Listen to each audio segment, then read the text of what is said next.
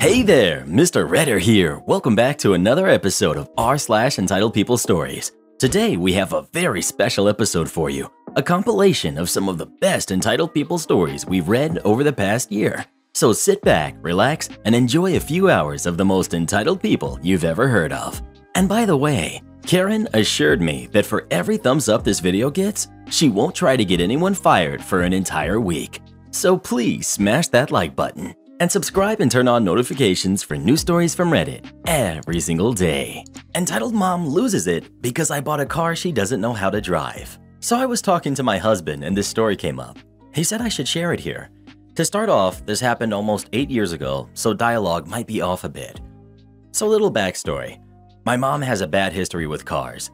She breaks them down within two years of getting them, no matter the condition they're in when she buys them. She cannot take care of them. When my older sister bought her first car at 19, my mom would borrow it for appointments and trips constantly. And by the time I was 18, you could tell she drove it. Well, I saved up money for six years, working hard to get enough for the car I wanted. And my grandpa even pitched in when I turned 18 and graduated high school with better grades than my sister. My grandpa went to the dealership with me and looked at Ford Focuses because that's what I wanted. Then I saw it a 5 speed, two door Ford Focus, and I loved it. Why? Because my mom couldn't drive a standard. I smiled. So we get it for a steal at 4 grand up front.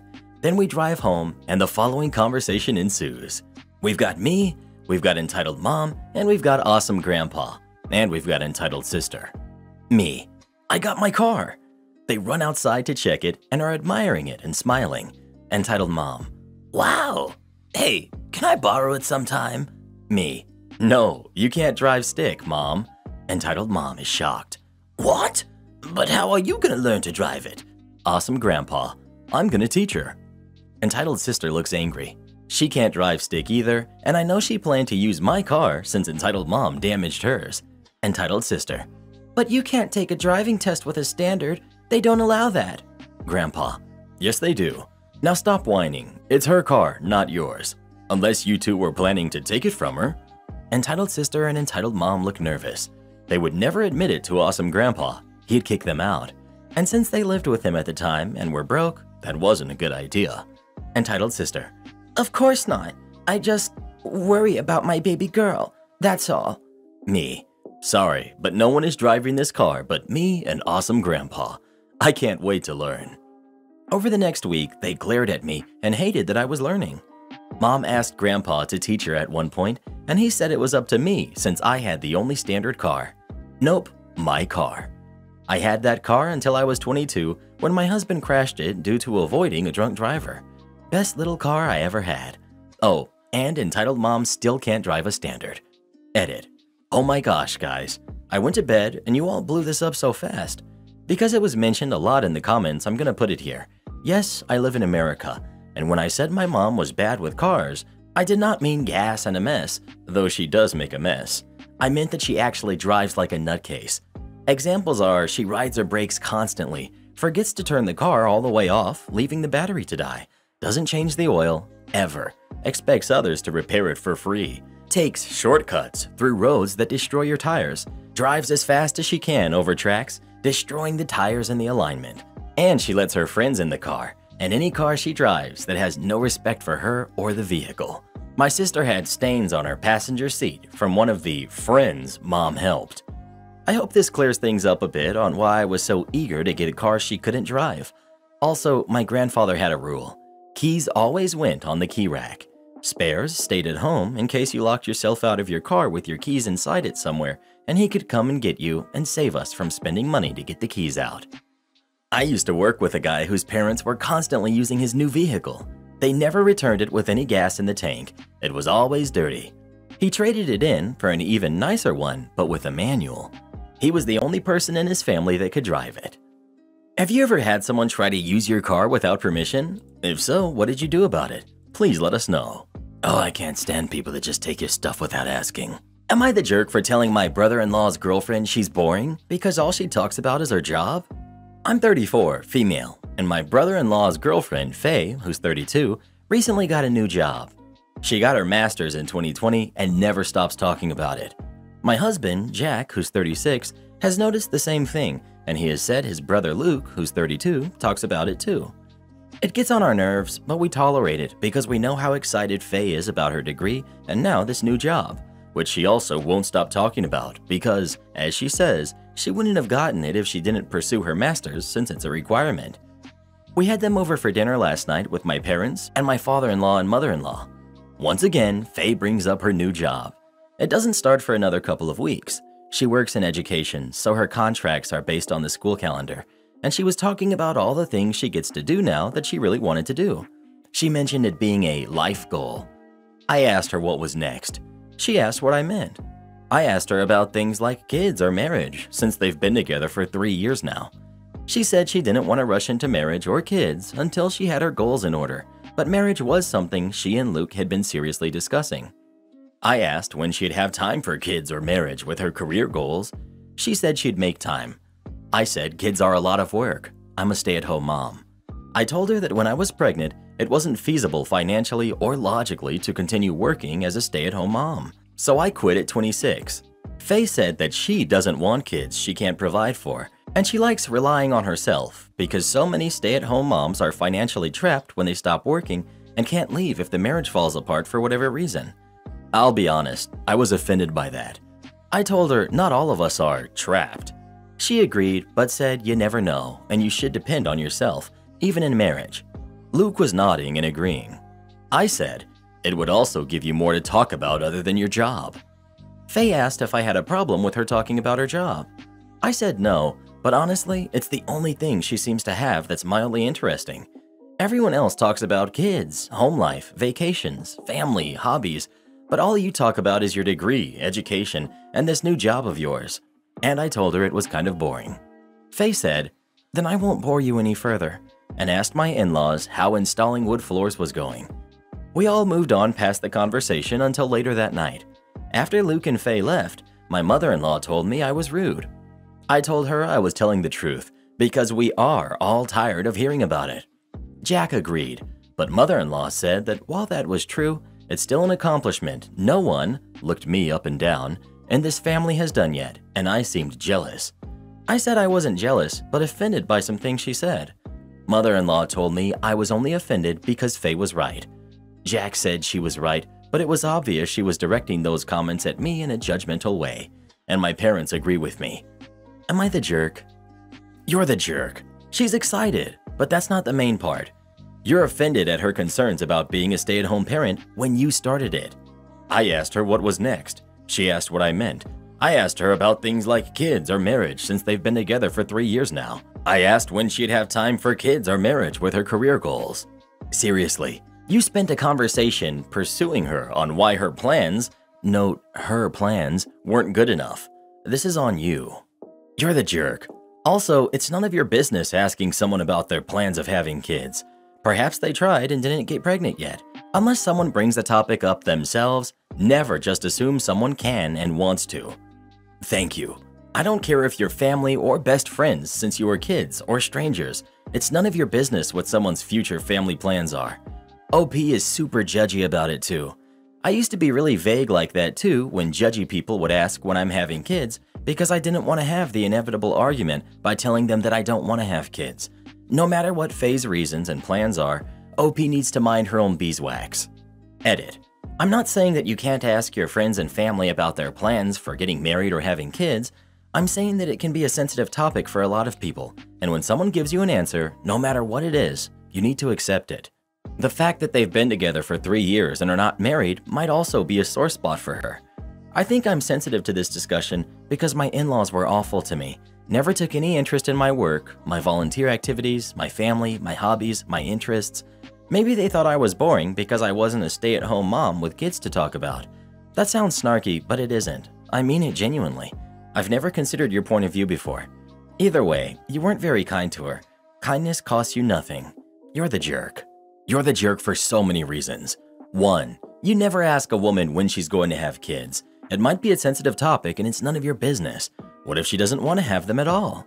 For some people, being a woman doesn't mean being a mom, and that's totally okay. 2. What she said about stay-at-home moms is true.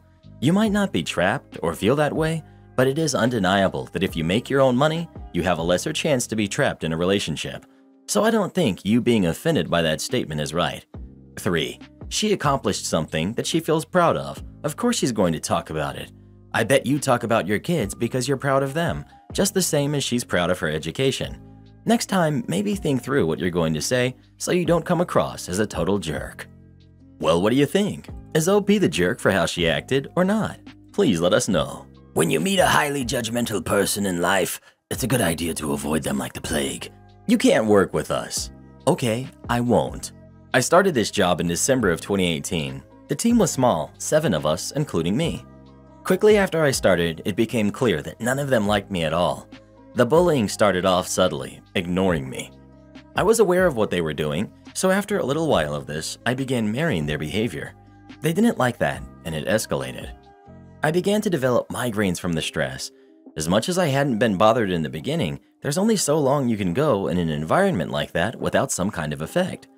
By this point, it had been several months. The migraines started to affect my attendance. Of course, they didn't like that either, and it continued to escalate. The manager knew all that was happening, but nothing changed. Well, anyway, I wanted another baby, so my husband and I decided to use the job for what it was worth a nice nine month long paid maternity leave. So, about one year after I started the job, I became pregnant. Then came my birthday.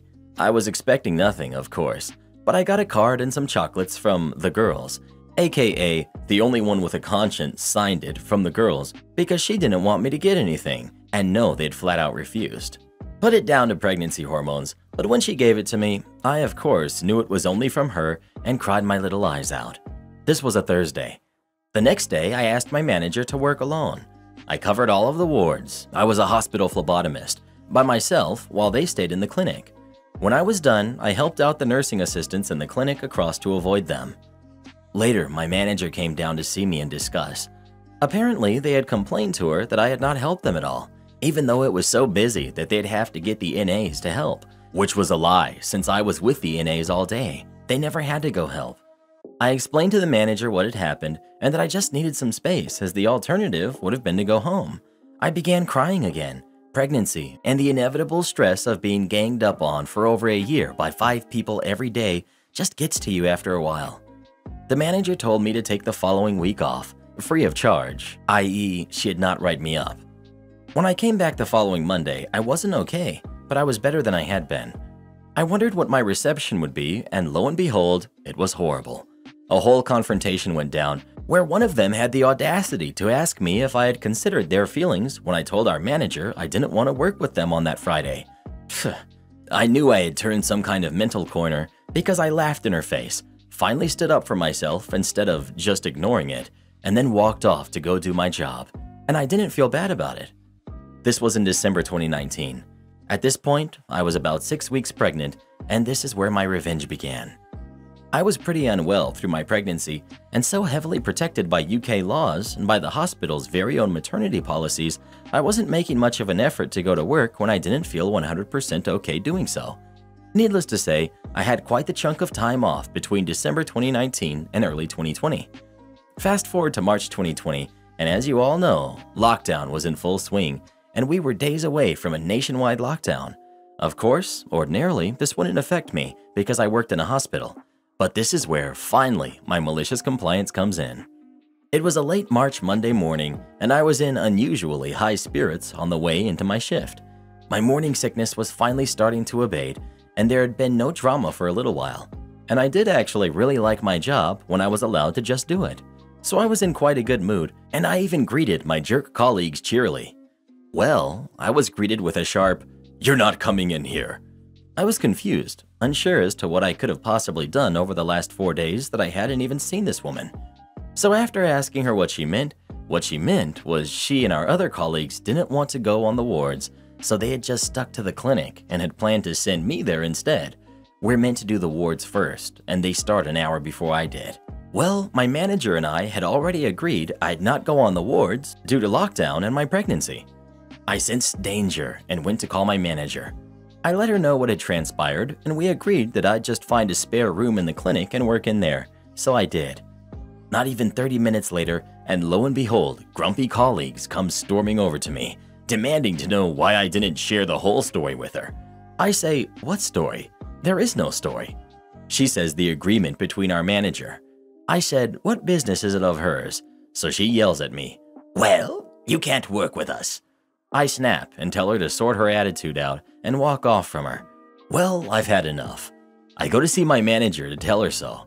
And when I get there, after telling her what was said, I say, since this colleague likes to act like my supervisor so much, how about I finally take some direction from her? I won't work with her or any of them. I'm done. My manager not only agrees, but tells me to shield instead, preserving my pay, fully paid sick leave, and my pay time off, which took me up to the mat leave start dinner. Winner. Which took me up to my maternity leave start date. Winner. And the kicker? They were stuck short staffed for a full year during lockdown because my job was legally protected until I officially left it, which was not until March of 2021. So I walked out mid shift, left them high and dry, and in the words of my manager, they brought it on themselves. Edit. Also, a note to the victim blamers who seem to be making their way in. It's fine if you don't believe I was being bullied or that it was somehow my fault. I know what happened, and I know how I dealt with it day to day. I don't divulge a great deal of details on what they did to me, but that doesn't mean it didn't happen. I did my best with the situation I was in, and that's good enough for me. Please educate yourself on bullying. Just curious how you could be so unlikable by so many people. There's something missing here. OP. A question I must have asked myself every day for a long time until I realized bullying isn't about the victim, it's about the bully. There was nothing I could do because it wasn't something I was doing. And you know what? Even if I was doing something that caused me to be incredibly unlikable, it doesn't excuse bullying. So no, there's nothing missing except more details on how they bullied me. I don't know you or your colleagues, but in my experience, when someone says none of their colleagues likes them and claims the entire team is bullying them, more often than not, it's you that's the actual problem. They likely feel that they don't want anything to do with you, as you likely make working with them bad. Take a look at how you work with others, maybe. OP. It certainly crossed my mind and was a question I asked myself daily while working there. What am I doing wrong? This alongside various efforts to get along with them, improve situations, etc. Additionally, others did like me. We worked with loads of people regularly. It was just the core team that didn't like me, and never had any issues like this in any other jobs I've had.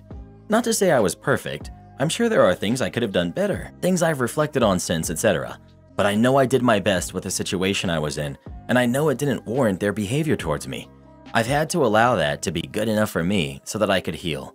Bullying like this happens, however unbelievable it sounds. Have you ever been bullied at work? If so, what did you do about it? Please let us know. Am I the jerk for kicking out my boyfriend's 19 year old daughter? My boyfriend of three years moved into my home three weeks ago after his lease went up and he was unable to renew with the price hike they expected. His rent was $1,600 for a two bedroom, and upon signing a new lease, they said it would now be $2,400. I have a three bedroom home and one son, who's 11. Both his room and my room have an attached bathroom. The guest room does not. We've lived here for five years, and I bought it last year. My boyfriend has a 19 year old daughter named Jess who visits him on the weekends and lives at home with her mother. Literally, never had any issues with her up until my boyfriend moved in. When he moved in, Jess started becoming this little snob who had demand after demand that she fully expected me to meet. Like, she wanted me to kick my son out of his room so she could have the room with an attached bathroom, stating that a boy didn't need a bathroom as much as a girl did. When I said absolutely not, she got extremely rude and condescending whenever she was in my home. She also tried parenting my son on more than one occasion, telling him what he can and cannot watch on the TV, what he can and cannot snack on, etc. There have been times when he's tried talking to us and Jess will butt in and say something about how kids are so annoying.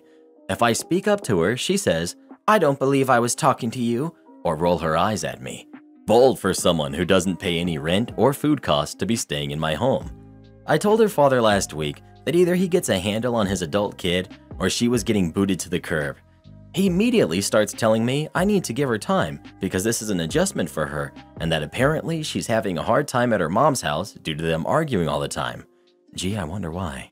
I told him that wasn't my problem and that at my house, me and my son were not going to be treated like this because she can't control her emotions and wants to take her resentment out on us. He said he would talk with her. His talk did nothing at all. In fact, she confronted me about it and said, I don't know what game you're playing here, but respect is earned, not given, and I will not be granting you respect until you prove to me you deserve it. She then walks to the living room where my son was watching TV and takes the remote from him and tells him to move. At this point, I go in and immediately tell her to get out of my house. She tells me she isn't going anywhere because her dad lives here, so I end up calling her uncle, who is a police officer, and have her escorted from my house after she collected all of her belongings. My boyfriend says I crossed a line, so I told him he can leave too. He currently isn't speaking to me, locked away in my bedroom. Am I the jerk? Not the jerk. Remove your boyfriend too. He's not on your mortgage or house deed. He's a guest there at your discretion. If he's going to act this way, he's shown you who he is. Get rid of him before he harasses you or your son. Not the jerk at all. Your boyfriend has been in your house less than 30 days. Tell him to get off your bed, pack his things, and get out now. Then make him your ex. The apple didn't fall too far from the tree. You know exactly where his entitled daughter got her attitude from. Am I the jerk for having my husband drive me back to shore when I wasn't allowed to fish? I, 32, female, rented a boat two weeks ago to go fishing. My husband suggested we celebrate his birthday at the same time, which is coming right up because he loves boating. I had no problem with it, but the whole rental was originally so I could fish. He invited our mutual friend Greg along, which was no big deal. But it soon turned into Greg driving everywhere and telling us to relax and have a few beers. He refused to sit in one spot for more than 10 to 15 minutes, so I wasn't able to fish at all. Every time I would have a line out for more than 5 minutes, he would ask if we were ready to move on to the next spot. At one point, even bringing us to a crowded sandbar beach where I obviously wasn't able to fish. Roughly three hours in, I asked if they could stop driving around so I could do some fishing, and he immediately stopped the boat, no questions asked. But it got really awkward after that. Greg making comments about how he wished he liked to fish so he could understand the hype of sitting in one single spot while on a boat because he can't stand it. Heavy sighing and pacing the boat, etc. I know for a fact he wasn't trying to be a jerk, he truly just couldn't stand sitting in one spot so that I could fish. So my husband at this point was getting uncomfortable with how awkward Greg was unintentionally making things and said, Well, babe, are you about ready to move to the next spot? At this point, I just asked them to bring me back to shore. Both of them started protesting and apologizing, saying it was fine and we could stay there longer. But at this point, I was so over the entire trip because I didn't get to fish more than 25 minutes at this point. They bring me back to shore, still apologizing, and Greg saying he was sorry for ruining my fishing trip, and I just said it was fine and walked off to my car without saying another word to them. Well, after my husband got home, he was really quiet, and when I asked him why, he said that it was a bummer that I chose to leave instead of just enjoying the boat for what it was. He said he understands my frustrations, but he couldn't understand why I took it to a level of ruining my entire day and leaving him on the boat that was meant for us.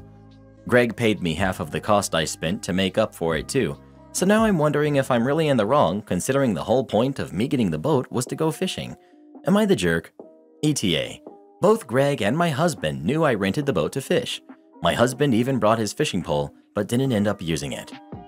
Not the jerk. Inviting Greg defeated the entire purpose. Lesson learned, I hope.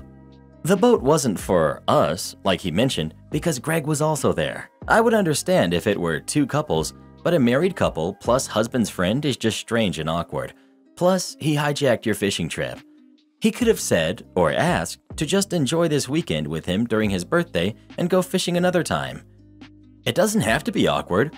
My significant other and I have been together for 16 years. We've done camping trips, mini vacations, or day trips with one extra person many times. It's only awkward if you make it awkward. We make a point to be welcoming and chill. That being said, Greg took over the trip, which is rude since he was invited along and didn't take part in planning. If either OP or her hubby knew Greg was going to want to drive around the whole time, maybe he wouldn't have gotten an invite. Also, if I rented a boat, I'd be the only one driving. I wouldn't be risking anyone being dumb and costing me big bucks paying for damage. So if Greg just took over driving without asking, he's double the jerk. Not the jerk. You wanted to fish and rented a boat. You weren't able to fish. Letting Greg do the day the way he wanted to do was a mistake, he was your guest and should have behaved like one. Am I the jerk for completely cutting my wife off financially? I know the title sounds bad, but let me explain. My wife and I have been together for a total of eight years. We have a five year old daughter. When my wife was a kid, she grew up with a kid named Kelly, who was pretty much a throwaway. My wife's family took Kelly in when she was nine. During the eight years of our relationship, Kelly constantly pops up for a while and then randomly disappears for months on end. About two months ago, Kelly resurfaced after her boyfriend was sent to prison on serious charges. Kelly also has a lengthy record. My wife gave me a super sob story trying to get me to agree to let Kelly come stay with us.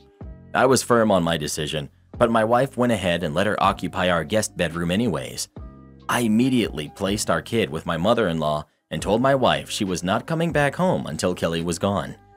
Kelly stayed with us for 11 days until I had to kick her out. A week ago, I was looking at our bank statement for something totally unrelated.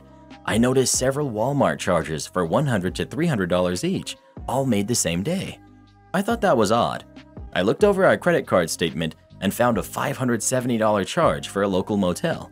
Immediately I knew. I confronted my wife. She quickly admitted to the hotel and let me know that $570 was for the first two weeks. She would be getting billed for another two weeks shortly. On the Walmart charges, she acted shocked, quite clueless. She actually made the suggestion that perhaps Kelly was able to retrieve the card info from the motel and somehow used it at Walmart. However, the bank issued debit card and credit card are two entirely different entities not connected to each other. The total, including the two week motel stay, came to $1,367. I then informed my wife I was canceling her cards, all of them, and filing a police report against Kelly since my wife had repeatedly said she didn't make those Walmart charges. Soon, my wife remembered everything. She bought Kelly clothes, shoes, food, toiletries, then she withdrew cash several times because of Walmart's limit. She had to make small purchases and ask for cash back. Luckily, the credit card was canceled before the next motel charge hit. My wife was okay about me canceling all her cards until she learned she wasn't getting them back. I made it clear, it's not about her spending the money. She's a stay-at-home mom, and I do believe it's her money too. But she lied to me. Aside from that, she's also enabling Kelly. And she never bothered to discuss this with me. She's now accusing me of being financially controlling, since now basically she can't go anywhere unless I'm there to pay. Her mom told her to get a job and get a private bank account that I won't have access to if I want to play this game. I started thinking that I might be the jerk because I'm realizing my wife feels that I'm punishing her. It might not seem that way, but it's not my intentions. Not the jerk. Her mom is right. If she wants to blow money that she didn't earn while not consulting you, she can get a job. You have a five-year-old and a $1,000 motel bill on a single salary household is tough. Your wife needs to get her priorities straight before she messes up and loses her family. Absolutely not the jerk. However, I completely disagree with your she can get a job comment. She has a job, she's a stay-at-home mom. The problem is that she didn't discuss anything with OP about their shared finances before she unilaterally gave her friend $1,367. If everything in this story was exactly the same, except that it was OP who gave his friend over $1,000 without informing his wife, he would absolutely be the jerk for the exact same reason, even though he was the one that earned the money. She can get a job? So being a stay-at-home mom isn't a job now? It is, but it's not one with an income. Stay-at-home parents should charge what daycares do then. Not the jerk. Your reasons are valid, your wife has proven that she cannot be trusted with unlimited access to the family's finances. She has also proven that she cares more about enabling Kelly than she does her own kid. At this point, I would tell her that her options are immediate marriage counseling, immediate individual counseling, cutting Kelly out of her life completely and getting a job to repay what she basically stole from the family, or you can file for divorce and pursue majority custody based on her favoring Kelly over your kid. Everyone sucks here. Cutting your spouse off from all financial resources isn't okay, especially if she's staying with your kid every day. Emergencies happen, and you can't always be available to pay for things. You two need to discuss the situation and get on the same page. She shouldn't be paying for her friends' living accommodations without telling you, but you're punishing her for that, rather than trying to find a solution. Everyone sucks here. I get your predicament, and it totally sucks, but have you discussed setting up a secondary account for her? Like a portion of your earnings could go into a spending account that you're comfortable with her lighting on fire if she wants, and it won't cause any financial stress. I think there's obviously some unresolved issues with Kelly and your wife that need to be addressed, but that's on her and them to figure out. Well, who do you think is the jerk? OP or his wife? Please let us know. If Reddit Boy did something like this, he'd need a new head. Am I the jerk for kicking out my mother and sister? I'm 21, female. I own my own place. I've lived here for a while now, and I loved my own peace living by myself with no kids or a spouse. My mom, who's 41, wasn't the best when I was growing up. She would bring guys in and out of the home all the time. I'm glad nothing ever happened to me, but it gave me a bad view for her once I grew up, and not a good relationship along with it. I have a sister, 22, who's disabled physically and mentally. I grew up with her, but it was extremely hard to form a relationship with her. I had to take care of her a lot growing up because my own mom wouldn't do any of it due to mom wilding around. My sister and I shared a room growing up, and I hated every second of it, if I'm going to be honest. My mom has been renting for a place to live, and since a few months ago, she can't live there anymore. My sister still lives with my mom, and my mom doesn't take care of her actively. She pays for a caregiver. My mom guilt tripped me into letting her and my sister live with me temporarily for a month. I eventually said yes. It was fine for the first few days. My mom and sister have been living here now for three months. My mom said only one month. I have to work a lot, so I'm barely there anyways, but when I have a day off, I hate every second of it. I know my sister cannot help it, that she makes noises, a lot of noises, loud noises. It's like I can hear it everywhere. The caregiver still cares for her, but it's like having a complete stranger in my home. Long story short, on my day off, after hearing everything and the noises and tantrums, I went insane and snapped. I told my mom she has to leave. She refused to leave at first, but eventually she did. The last thing she told me was, You're supposed to be grateful that I gave you a home to live in, and you can't give that back? You're a jerk and always have been. I eventually told her to just leave, and my mom got my sister and they both left. I feel like I'm the complete jerk because of the fact that I told her to leave just because I was tired of my sister, even though she cannot help it at all. Am I the jerk? Edit. Thank you all for taking the time to comment. I have no new news about my mom or sister. I haven't spoken to her since she left. I haven't been able to reply to comments because I've been insanely busy today, but I just now read most of the comments. I appreciate it, and I started crying at some comments because they hit a soft spot for me. I appreciate the comments you guys left. Thank you. Am I the jerk for refusing to stand up for my girlfriend when I felt she purposely started drama with my mother? I've been with my girlfriend for two years, and we're talking about getting engaged soon. I love her wholeheartedly and would choose her over my mom in a heartbeat. They don't get along at all, so it's come up plenty of times, and I think I've done a good job of siding with my girlfriend. They just flat out don't like each other, but they also seem to have some rivalry going on. My girlfriend has confided in me that she feels like she can't win. They're both guilty of being competitive, but she feels my mom has a lot of stuff over her. I, of course, don't agree, but it bothers her. My mom is really good at cooking, but her baking is just okay. She can't decorate the cakes at all, and my girlfriend recently discovered this. My mom's fiance had a birthday and he wanted a banana cake with honey cream cheese frosting. My mom made it and it wasn't great looking. Tasted good though. My girlfriend made the same cake but decorated it beautifully and decided to bring it to the party. It was a work of art, but I told her she was just trying to cause problems and I didn't want her to bring it. She decided to bring it and I didn't stop her. When we got there, my mom saw her cake and didn't look happy, but she didn't say anything. My mom's fiance just flat out refused to touch my girlfriend's cake. I think he told other guests to do the same because no one would eat it. I took a big piece and I praised it, but she was clearly upset. She went over and tried to pressure him to eat it, and honestly, he was pretty rude. He told her he sees through her. He isn't going to touch her cake, but if it makes her feel better because she found one thing that she's good at, then take the win. He thanked my mom for his cake kissed her, and then told my girlfriend she was bothering him and to get out of his face. I didn't do anything in the moment. She later asked me to talk to him, and I declined.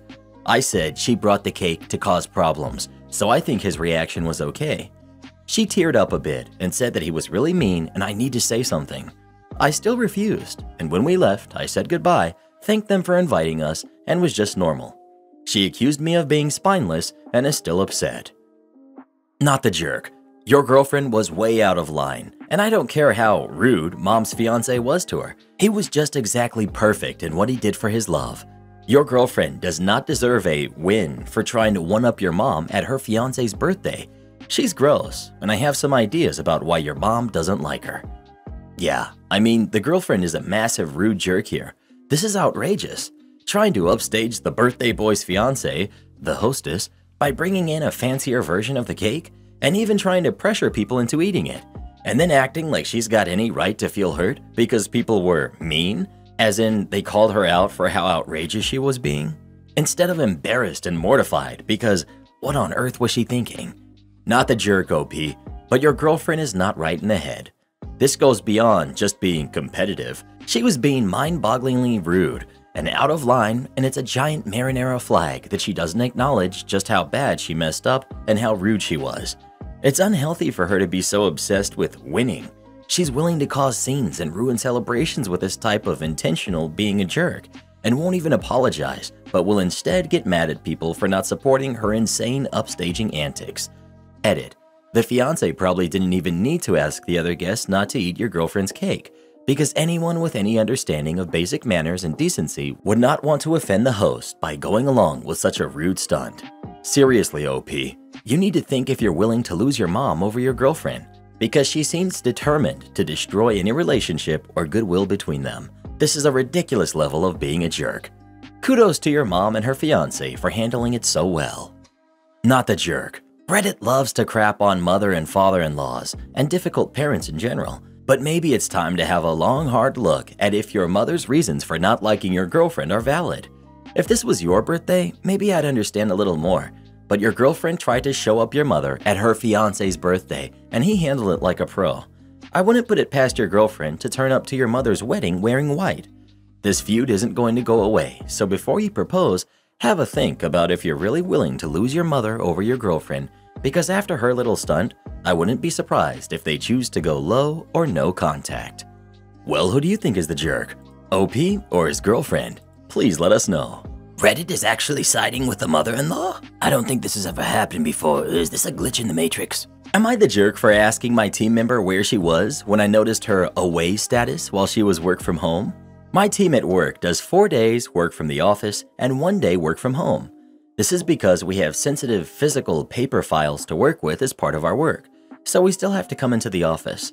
One of my team members, Sarah, had appealed to do two days work from the office and three days work from home instead, on the basis that she has two kids to look after.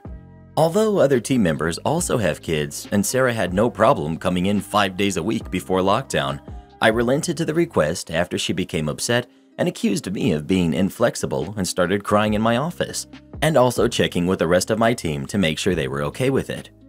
I've noticed of late that when Sarah is work from home, she has a tendency to go offline or away on Skype during office hours, She's usually offline or away for more than an hour each time. Yesterday, I finally asked her about it and told her that other people, internal clients and external stakeholders, have come to me for work matters she's handling because they could not locate her. One external stakeholder even told me that Sarah was on leave. When I clarified that Sarah was not on leave, the stakeholder was bewildered. But she's been offline the whole morning. Sarah was defensive and sarcastically apologized for not being there to reply to messages immediately. She then added that as long as she got her work done, it didn't matter when she was online or offline. I told her she didn't have to be online for the entire 9 a.m. to 6 p.m. duration, but minimally from 10 a.m. to 5 p.m., with a break for lunch, so that A, people can reach her if they need to, and B, other team members don't notice and start following her example, particularly since Sarah is senior to the others. Sarah was unhappy, and since then I've come to be aware that she's been saying things about me to the rest of the team, including how I am a dinosaur, still working according to former working norms. So, am I the jerk? Edit. The entire division, including Sarah, reports to me. Sarah is salaried, not hourly. Sarah's work is affected by her behavior because part of her job is being available to internal clients and, where applicable, external stakeholders. External stakeholders can see whether Sarah is online or offline because we are all linked in a single public Skype network comprising related agencies, organizations, companies, and ministries. Separately, Sarah's conduct affects me and other team members since we have to respond to queries meant for Sarah, particularly when they are urgent. It also reflects badly on the division as a whole when Sarah is unreachable. Not the jerk. Employees are evaluated on more than work product. There's teamwork, reliability, engagement, etc. Further, business hours do not change because you work from home. Sarah's lack of accessible denotes her failure at teamwork and engagement. People that think like she does are going to be sorely disappointed, outright upset, when they do not get a bonus or promotion or lateral move to a different position.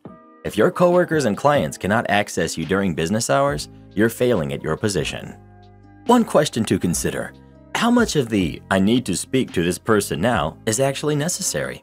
This description of immediate responses being needed from both internal and external stakeholders reminds me a lot of a previous company I worked for.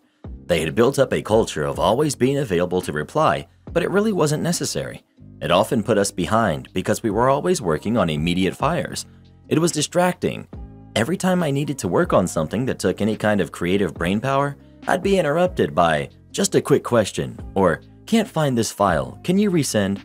There are certain roles where being available for communication at all times is important customer service, administrative assistance, but in most other roles, it's simply not. I'd love to see more managers reevaluating this need to be constantly connected. 100%. We have started to leave ours on invisible so clients do not know if we're online and get back to them within a business day, and not one has complained. But if they see someone online and they don't reply, their manager often gets a follow up from the client or coworker trying to contact them. I'm much more productive when I can work on a file without interruption and schedule time to check and reply to messages, and within my team, we use a second chat platform for immediate requests and questions. Well, what do you think? Is OP the jerk or is Sarah? Please let us know. Don't worry, Sarah will get back to you as soon as she finishes the episode she's watching. Want me to scrub the registers at peak time? Alright then, sure thing, boss. I work in the store where you pay for a cart and the cashiers all sit. The store floors frequently get pretty dirty because, well, there's a lot of customers coming in and out, especially at the time this story happens.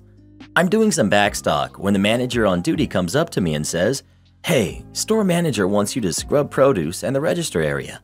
Keep in mind, our scrubber is a behemoth, loud, and can be difficult to maneuver. Not the best equipment to pull out at 5 p.m. on a Monday. Also, there are lines 8 to 10 people deep at both open registers. I point this out to the manager on duty, and she just shrugs, saying, Just get it done. Okay then. I pull out the scrubber and happen to get a lucky break.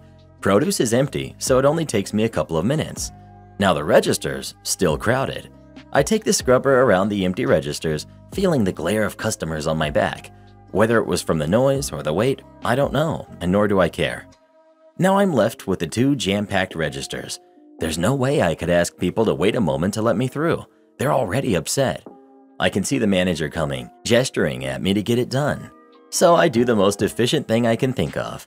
I go to the back of the line, shut down the scrubber, and wait. And wait, and wait.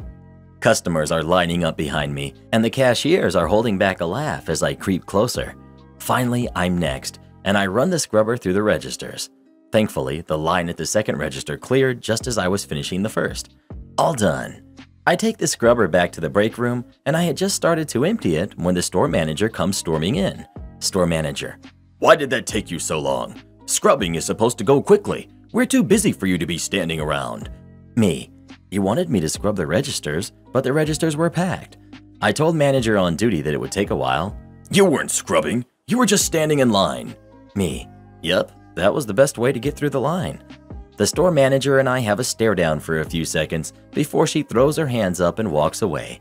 And I've never been asked to scrub the registers during peak times again. My friend's cousin complied with his cool family's demands. This happened a while back, maybe three to four years ago. My college friend told me about how his cousin basically did over his family by moving out when they told him to. Note, to make it easier to follow, I'm gonna use fake names. Cousin is Jack, cousin's sister is Tina, cousin's parents, Bob and Mary. So Jack is roughly 28 and still living with his parents, but he pays their bills electric, water, internet, etc. And this is a big two story house, so the bills are big too. His sister, who's 24, had left the house by then and gotten married to a guy that makes good money. She had taken credit for paying the bills and convinced Bob and Mary to kick him out because he's a shut in loser, because none of them understood his job. A bit of backstory on their parents. My friend tells me they're like those stereotypical teens in the cliche high school movies. Basically, they look down on nerds and think people who study hard are uncool, that type of thing. Anyway, they kept that mentality even after growing up and having kids, so they always looked down on Jack for being nerdy and favoritized Tina because she was pretty and popular in high school. But apparently, Jack didn't really care because his personal life had friends he cared about and he connected more with his relatives. So they all confront him, and after bad mouthing him about how he stays in his room mostly and how his sister, her husband, and kid need the space, told him he has till the end of the month to leave. This was done close to the first week. Jack didn't say a word. He just nodded and left by the end of that week and moved three cities away to a city closer to his other relatives. Two months go by and his sister calls him, asking why this month's bills weren't paid, as their lights and water had been shut off. He tells her that she should have paid them since she was, allegedly, paying them before. About a week goes by and he gets a call from his parents explaining how his sister confessed to everything and how he can come back and have his old room back so long as he kept helping them pay the bills. He refused, saying he's enjoying living by himself and how he can focus on his work more because he's away from them. Afterwards, he blocked their numbers, and now they have to pay for it themselves. He doesn't know what happened after that because they're no longer invited to family gatherings.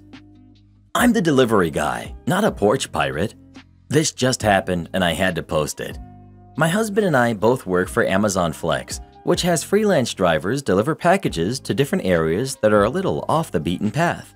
This way, everyone, even those who live in tiny forgotten towns that are surrounded by cornfields, will get their packages in a timely manner.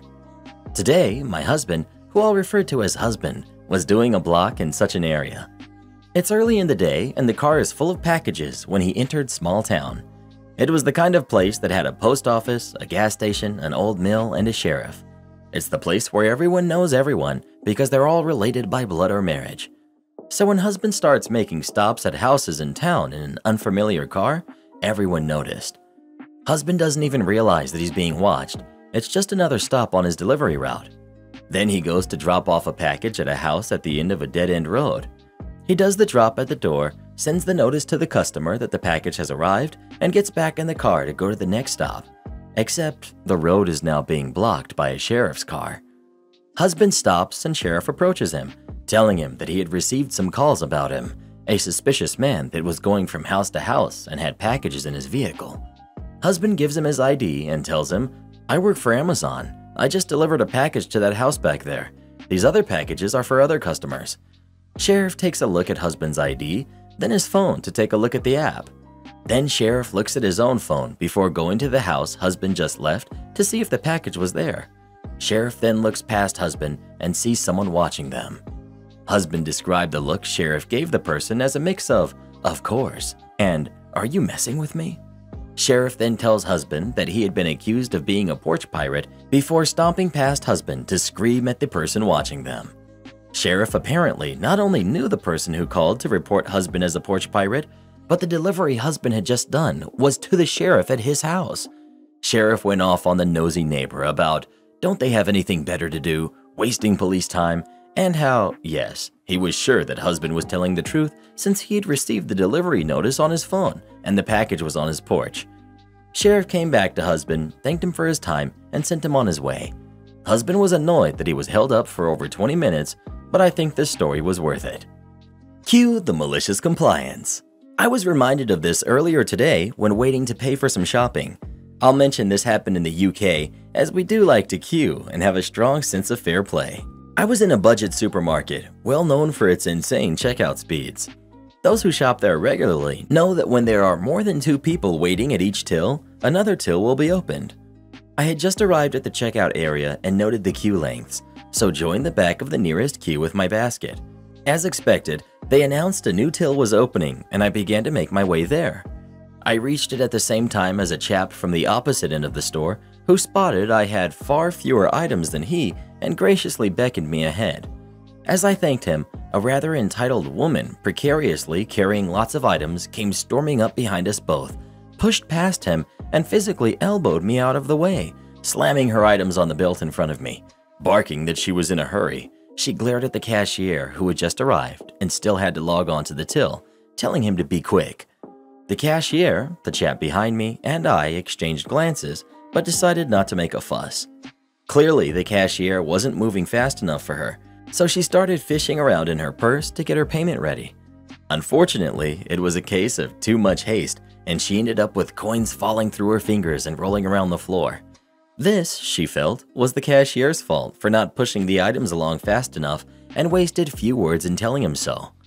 But what she didn't notice while doing so is that one of the pound coins rolled quite close to me. I saw it, and the chap behind saw it, but neither of us felt the urge to mention it. In fact, I now had a decision to make. I did not want to help her by telling her, but keeping the coin would be stealing. Then it occurred to me what to do. I moved my foot in front so the coin was now completely hidden from her sight. I waited a couple of minutes like this and watched her pay and put her purse away. The chap behind me caught my eye and frowned, but I smiled innocently. The woman began to pick up her items, juggling them in her arms and made to leave. At the perfect moment, I called her attention and pointed out the coin, pushing it towards her with my foot. Watching her bending down at my feet, dropping the same items repeatedly whilst trying to pick up the coin made up for all of her rudeness. Her hair even fell out of her bun all over her face. The cashier was so cheered up, he wished her a great day, and the man behind me laughed all the way through. The best part was that, although he knew exactly what I'd done, we just smiled at each other and left it at that. Told to come to drill weekend with Pink Eye? If you say so. National Guard. I got pink eye once the day before drill weekend. Called my sergeant and was told I still had to come to first formation. I told him that's a bad idea because it's very contagious and I could spread it to the whole company and that I'd be happy to make up for drill when it clears up. He says, I don't care. You're not a doctor. It's probably nothing. You better be here in the morning. I even offered to send a photo of my eye. No dice. I drive an hour to my unit Saturday morning, and no one with any authority will see me because they're too busy or they're not there yet. Then, about five minutes before first formation, I find the company first sergeant and ask him if I can see a medic about my pink eye. He looks at me, looks closer, and then blows up. Why are you here if you have pink eye? You could give that crap to everyone here. Why didn't you call in sick? I tried first sergeant, I called yesterday and Sergeant Moron said I'm not a doctor and I better be here in the morning, so I'm here. Darn it! He then flags down a different sergeant, tells him to take me upstairs to our little in-house medical office and get checked out. Then he left to go choose Sergeant Moron a new one, but not before turning back and yelling, And don't touch anything! So here we go. Doctor immediately says, Yup, you've got pink eye. These are the drops you need to buy. You're dismissed from this drill. Head to CVS, get these drops, and go home. Get with your leadership, and you can make up this weekend when your eye clears up.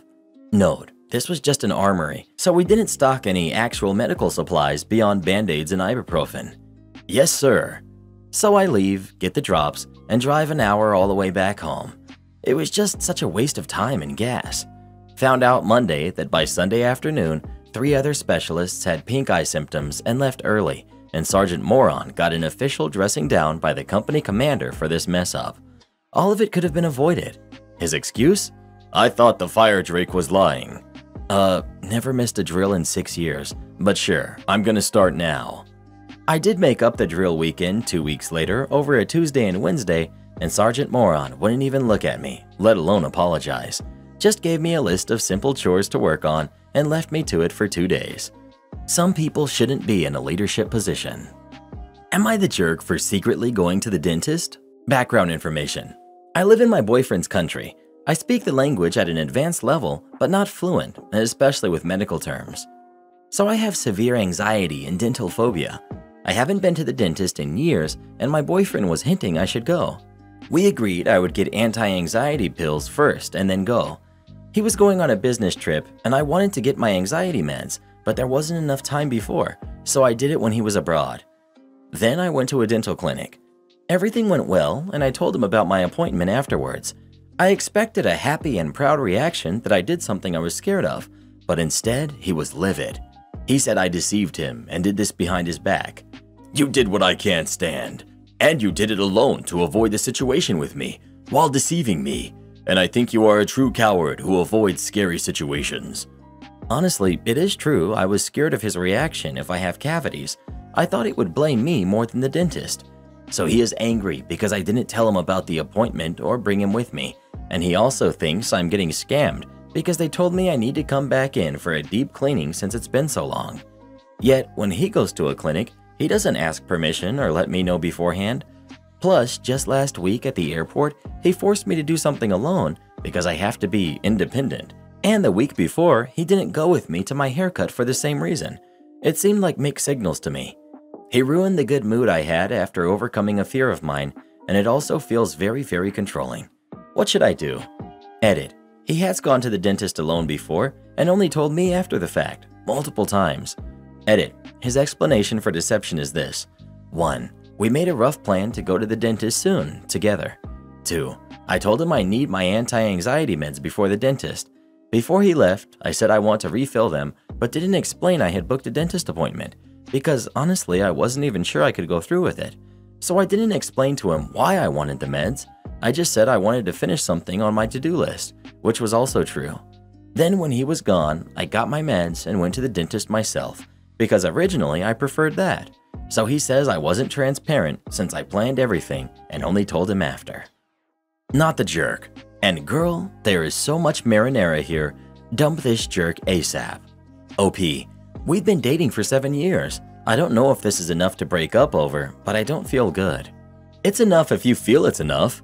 Many controlling people don't start out that way, and then they start gaslighting you until you get to the point of questioning whether the things they are doing are really that bad.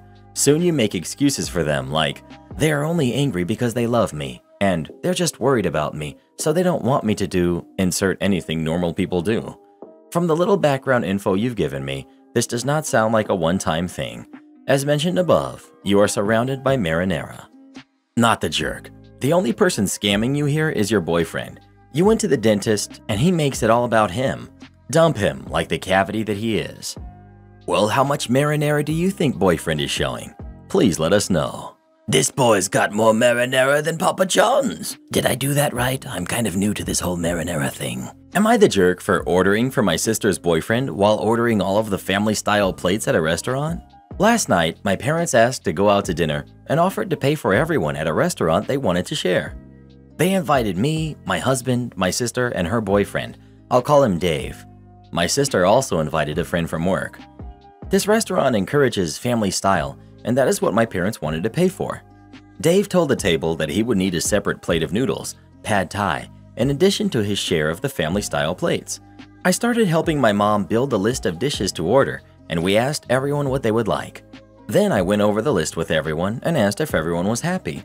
My dad is nearly deaf, my mom can be shy, and my sister isn't very interested, so I would typically be the one to order in these scenarios.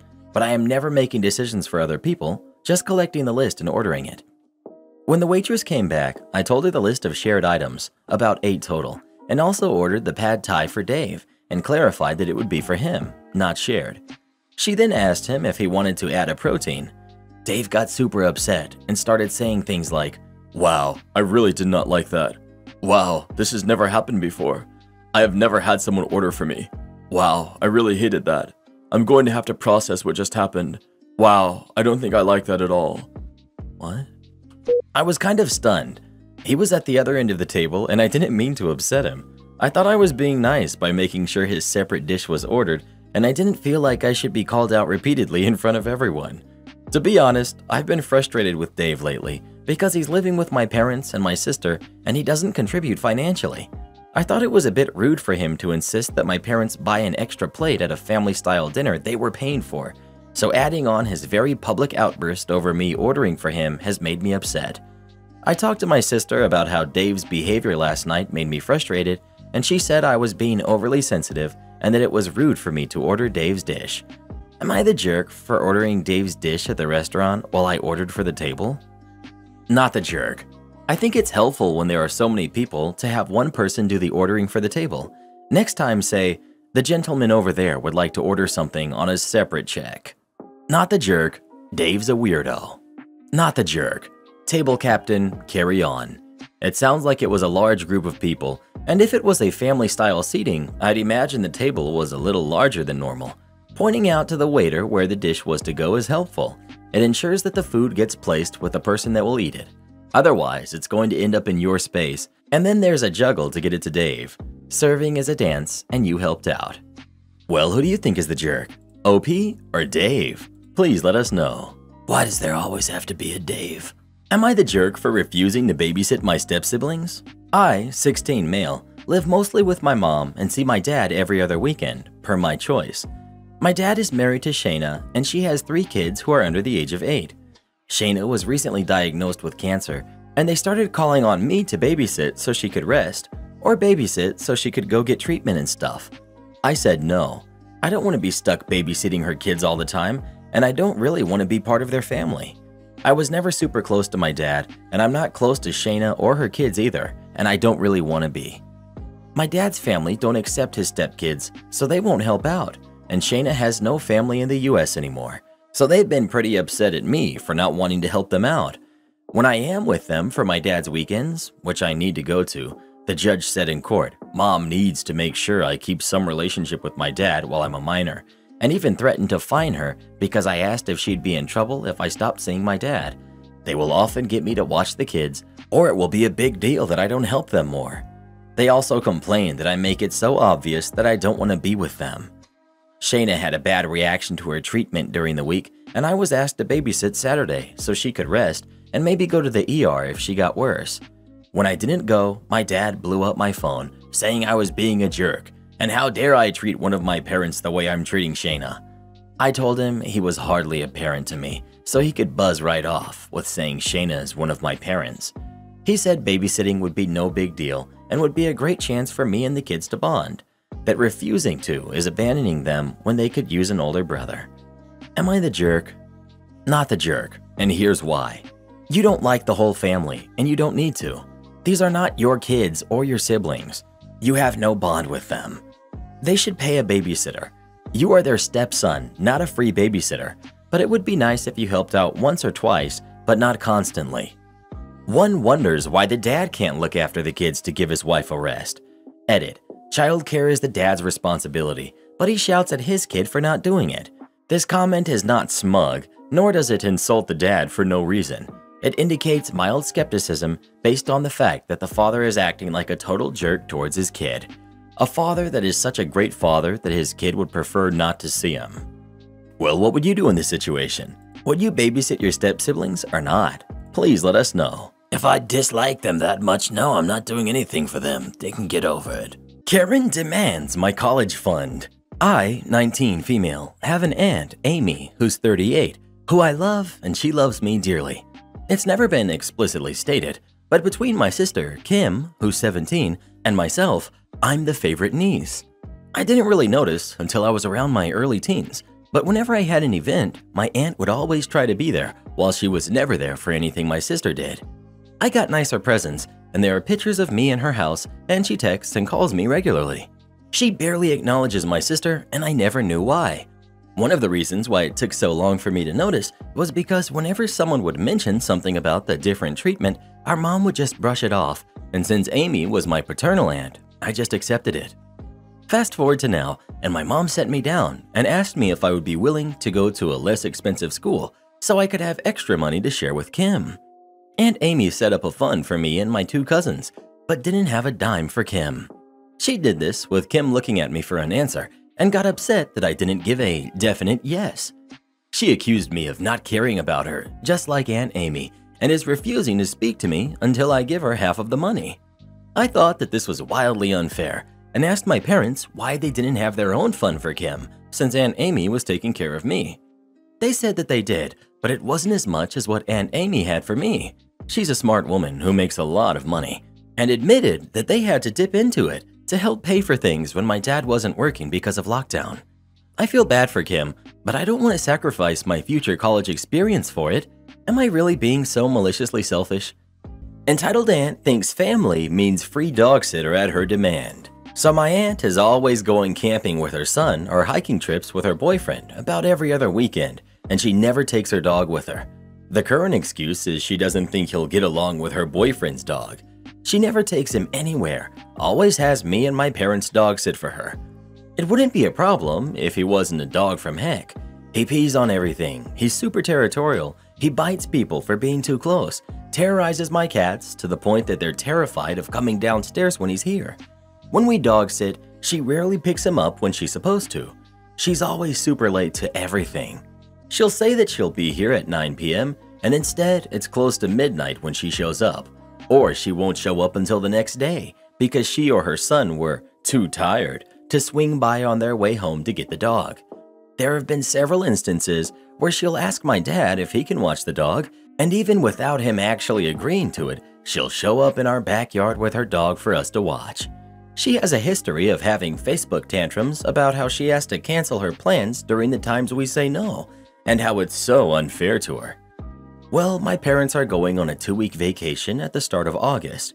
I'm staying home to take care of the house and our pets, and have plans to go to my grandma's, who lives one and a half hours away, to do a joint birthday celebration with hers, since our birthdays are that first week of the month. My aunt heard about my parents' plan of vacation last month and decided around the 4th that she's going on a vacation to the Grand Canyon with her son, her boyfriend, and his son. For those same two weeks, my parents will be having theirs. The woman had the actual gall to ask my folks to reschedule their vacation so that they'd be home to babysit her dog for two weeks. My parents flat out refused because why should they have to reschedule their vacation for her? She refused to accept their refusal, and while we were all hanging out at my grandma's backyard, she just kept trying to persuade us. My aunt. We, her and her son, never get to take a vacation together out of state. I don't want to have to cancel. Dad, you don't have to cancel. You'll have to find someone or some place to watch your dog since wife and I won't be here, or just take him with you. And, well, he's not good with these kinds of trips. Mom, have you ever actually taken him on a trip? You don't know how well he handles these if you've never taken him. And, well, he probably won't get along with boyfriend's dog, and he gets so mean around people. OP, you're not going, so you can watch him, can't you? You don't have anything else to do. Me, no, I have plans during that time, and watching him on my own is exhausting. He bit me three times the last time he was here, and I have to watch him like a hawk to make sure he doesn't attack my cats. Well, the cats just hide upstairs when he's around, so they'll be fine. Me. And you think it's fair for our cats to have to hide upstairs for two whole weeks? One of them gets so freaked out by him just being there that she barely eats when he's around. Three days is hard enough on her. Two weeks is cruel. Well, you could figure something out. I really don't want to have to take him to the kennels for two weeks. I don't think it's humane to keep a dog in a kennel. Are you sure you two can't just push your vacation back a few weeks? It's just a lot of no's, and eventually the conversation dropped, and we thought that everything was fine. But then my aunt went on her usual Facebook rants because she probably felt no one in the family would see. Only my mom, my sister, our uncle, different aunt's husband, and his son are ever really on Facebook besides her going on a woe is me, the world is unfair complaint about how we're mean and that family is supposed to help each other out. So why can't we just stop being selfish and watch her dog? And if she doesn't have anyone to watch her dog, then she and her son will have to cancel plans and won't be able to go with her boyfriend and his son to the Grand Canyon, and how unfair this was to them. She's also been pestering us constantly since then, the Facebook post, to see if we're suddenly available to take her dog for her. I'm honestly not going to be surprised if she just shows up in the backyard again to drop him off, regardless of being told no. Edit. I see people bringing up pretty valid concerns of him really hurting someone, but I don't think he's physically capable of that. He can be a pretty mean jerk, but he's also like 10 pounds and an ankle biter who's missing half his teeth. He can bite and it'll sting, but it's fairly easy to throw him off with how little and light he is. Though I don't encourage throwing animals, if he attacks someone, it wouldn't be that hard to do. Though I do think he'd be very capable of hurting other small animals. But I ain't an expert in this field, so I might be wrong. Tell her this. Tell her, I know you asked if I could keep the dog, and I said no. I meant it. Just in case you forget and accidentally drop your dog off, I'm reminding you now that I am unavailable. If your dog gets dropped off, he will be taken to a kennel. If they refuse him for any reason, he will be taken to a shelter. I am unavailable. If you put me in this situation, I will assume you no longer care about the dog and have abandoned him. Speaking of dogs, what's your favorite dog in the world? Please let us know. Rottweilers for the win. Reddit boy had one when he was little, and he misses her so much. Am I the jerk for pressing charges against my girlfriend's friend for stealing my doll? I, 26 male, Have been with my still girlfriend, 26 female, for almost four years. Last year, I gave her a key to my house. She spends a few days there, but we don't live together full time. A few days ago, I had to make a quick trip for work. She asked me if she could invite a few of her friends to the house for a girls' night. It was on Thursday. I accepted. I returned yesterday in the morning. The first thing I noticed was that the rag doll was missing from the wall. My first instinct was to call my girlfriend to ask if she had put it somewhere else. She denied it and said the doll was there. It wasn't. I checked the GPS of the doll. Yes, it has a GPS. The GPS marked the house of one of her friends. Let's call her Jess. I tried to be nice and told my girlfriend to tell her friend to bring it back before 5 p.m. and I'll pretend this never happened or I'll involve the police. She tried to fight it, but I told her about the GPS. Well, my girlfriend called me back, saying that Jess denied having the doll. We had a huge argument, and I warned her that I wasn't playing about getting the police involved. I waited until 5 and went to the police. We went to her house and got the doll back. I pressed charges. My girlfriend and I had a bigger argument about me pressing charges. They, including her, knew that the doll was made by my father. They could have stolen anything else and I wouldn't bat an eye. I gave her friend a chance and she tried to play stupid, They've been calling me a jerk and to drop the charges. Edit. I will answer some of your questions here. If you have more, I will try to answer them. The doll is with me. It's a rag doll. Better said, it's a Raggedy Ann doll. My father had many hobbies. He tried making dolls and was planning to sell them, but the first one he made was a Raggedy Ann doll, so it didn't last. He was too manly to sell Raggedy Ann dolls. Ridiculous, I know. And he gave me that one. And actually, he made four more for my best friends. The doll was hanging in my room, but once he passed, I hung it in the living room. It has X's as eyes, and it looks creepy. It has a GPS because my home was robbed seven months ago. I don't care if they clean out the house as long as they leave the doll. I have more expensive items she could have stolen, so I don't know why she would steal the doll other than a sick joke. My girlfriend never complained about it, at least not to me. I haven't talked to her other than telling me to drop the charges. I will talk to her tomorrow to find out why she let her friend take the doll. They've been here before and never did anything like this. And about our relationship, because right now, I'm thinking about breaking up. Not the jerk, but your girlfriend is for being upset with you rather than the friend who literally stole from you. Don't drop these charges, dude. Stand your ground and maybe rethink if you want to be with a girl who's okay with sentimental items made by your father being stolen from you. Oh, and change her locks, but don't give her a new key. Not the jerk. Jess could have saved herself from the hassle of police involvement by not stealing or by just fessing up and returning the doll once caught. Your girlfriend could have saved Jess from the hassle of police involvement by telling Jess to cut the crap once she knew the doll had a tracker in it and was unequivocally being stored at Jess's place. You gave them every option to do the right thing. It's not your fault they chose poorly. Also, change your locks your girlfriend is obviously not trustworthy enough to have unmonitored access. Well, who do you think is the jerk? OP or his girlfriend and Jess? Please let us know. I want to know why you'd even be willing to stay with her after this crap. You want eye contact? Okay, sir. Background. I used to work retail in a DVD slash CD store that rhymes with manatee. It's in Australia. We had computers that we could use to find certain titles and artists in the store if we had it in stock, or we could even order from any of the other 300 plus stores in the country and have it shipped to the store. Many people would use this for older CDs or collector items that were harder to get. One day, an older bloke came in asking about a certain smaller 80s rock band. I can't really remember the name. I looked on the computer for him and was about to track down their album names, which of those albums he wanted, located the album in stores around the country, and got his details to enter into the computer for when the albums arrived in stores so that we could contact him. He thanked me and said that he was so happy we could get these albums in for him and left the store. The next day, I get called into the boss's office because of a customer complaint. It was and is my only ever complaint in any job for the past nine years of working. He had rang up and complained that while my service was lovely, I didn't make enough eye contact when I was using the computer. Cue malicious compliance. Three days later, he came in because he had another band he wanted to order. Luckily, I was working. As soon as he walked in, I greeted him with the biggest smile and locked him straight in the eyes. When he asked if we had any of his band in stock, I typed in the computer while maintaining direct eye contact. It took me about four tries to find the right keyboard letters as I wasn't that great at touch typing. He was starting to get annoyed, but he didn't voice it. Then I had to search what store location these albums were at. That took another couple of attempts to type. I turned the computer monitor around to the point it looked like I was going to snap it off.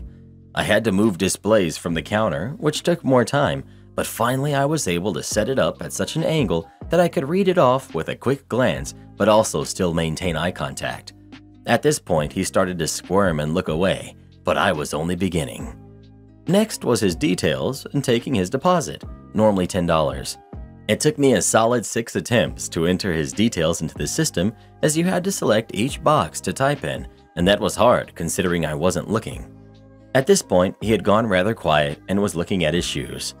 When he handed me his money, I still maintained direct eye contact and even dropped it accidentally out of my hand, which then led me to awkwardly slap around on the floor until my hand found it. Wouldn't want to break that eye contact looking for a few coins. After all the typing attempts, it took me an extra 10 minutes to serve him, all because I couldn't look at what I was doing. To this day, I've seen him a couple of times, but he won't come to my register, and he doesn't make eye contact or hides in the aisles until I'm busy with another customer. A shame, really. He had such lovely brown eyes. Am I the jerk for expecting my girlfriend to pay for her stay at my family's cabin? My grandparents own a big old cabin where every generation after them has enjoyed annual family vacations. Due to the cabin's age, there is constant maintenance that needs to be done. Every time we've replaced, fixed, or repaired something, there's another thing that needs fixing. We also started slowly renovating the cabin as the interior has become quite dated as well. These costs have become too much for my grandparents to handle alone, especially since their age means they can't do much of the work themselves and they need to hire professionals instead. This has caused them to implement a fee system. The rule is as follows. Every person from the age of 20 years old needs to pay an annual fee to be allowed to stay in the cabin. The size of the fee varies as it is calculated according to how many people plan on using the cabin and how big the upkeep costs were the previous year. I've happily paid this fee ever since the rule was implemented, and so have my parents, aunts, uncles, and cousins. Every summer, my extended family tries to find a weekend during the summer where most of our vacations overlap so that we can all meet at the cabin and catch up. I decided to invite my girlfriend along as I want to introduce her to this tradition, as she is someone I'm imagining spending many future summers at the cabin with. She was ecstatic about the idea of meeting my extended family and going to the cabin, as she's very curious about it after hearing me talk about it a lot. Naturally, I sat her down and told her about the rule and how she needed to pay, as everyone else paid, and it was only fair for her to do so as well, since she would be using the cabin when coming with me this year. The year's fee is around $200 to $400, depending on how many people use the cabin, due to a big roof leak and some pretty substantial water damage. The idea of paying this fee really upset her, and we had a big argument where she concluded with saying she would make other plans without me this summer. The rule is very simple and made completely fair on everyone. I don't understand why she thinks she should be exempt from this. My brother told me I should just pay her fee for her, as my extended family really would like to meet her. But I really don't think that's fair for me to pay double the fee when she's completely capable of paying it herself. Am I the jerk? Edit. The cabin is not leaky anymore. All the damages were fixed this spring. My uncle handles the finances for this and usually pays for everything before calculating the individual costs at the end of the year. You're the jerk. She's perfectly within her right not to want to spend $200 to $400 for a weekend at a shared, broken down cabin. It's not her family's property, she has no emotional attachments to it, and she may never reap the benefits of fixing it up. This, if she pays the fee and she only visits this one time and her and OP break up, is she still entitled to use the rest of her contribution? Two to four hundred dollars for the pleasure of staying in a broken down cabin with a leaky roof? I cannot imagine how moldy it smells. No thanks. You're the jerk. She's your guest, not a family member who agreed to pay into the communal fund. Paying two to four hundred dollars to stay in a crappy cabin for a weekend with a bunch of strangers is an absurd ask. Not the jerk. Part of planning and going on a vacation is deciding what fits in your budget and is worth the price to you. Visiting your family cabin may be worth 200 to $400 to you, but it isn't to your girlfriend. Paying $400 for a weekend in a cabin that you'll share with lots of other people? Don't think it's worth it for anyone. She'll be cheaper off renting a fancy Airbnb nearby and meeting you for dinner. Besides, while it makes sense to charge an annual fee to people who co own the cabin, why would you also charge any additional guest? What kind of wear and tear do you expect her to do to the cabin in one weekend that would justify this kind of price? Well, who do you think is the jerk? OP or his girlfriend? Please let us know. She's your guest, bruh. She shouldn't have to pay.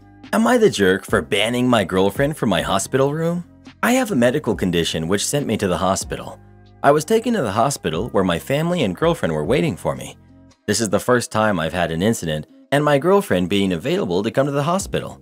Only happened one other time, and I didn't tell her until after the fact. She came into my room once the nurse gave permission. She asked if I was okay, got me a blanket, and helped me out since I couldn't move much. She couldn't stay the entire time because she had to work early in the morning, and I told her to go home and sleep. Got to the hospital about 10:30 p.m. The next day, she came to my house after work. I told her she had no right to be there yesterday at the hospital or even be in my room since she's not family, and I didn't want her there.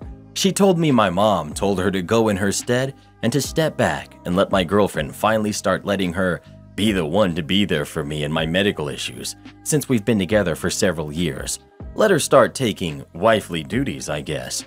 I told her I want her nowhere near me before or after my surgery. Had to get surgery due to an injury from the incident. She seemed upset by all this and said I was being rude and hurtful. I told her I meant it, and if she came, I wouldn't let her in my room or the building. About a week later, my mom and girlfriend were out and apparently, my mom brought up about her being there for the surgery, which my girlfriend then told her what I said and will not be going since that's what I told her. My mom said I'm being a jerk for being mean and hostile to my girlfriend about it. I don't think I did anything wrong, even if I did yell at her. Am I the jerk? Some info. No, I didn't tell her before I didn't want her to come. It honestly just irritated me she came into my room.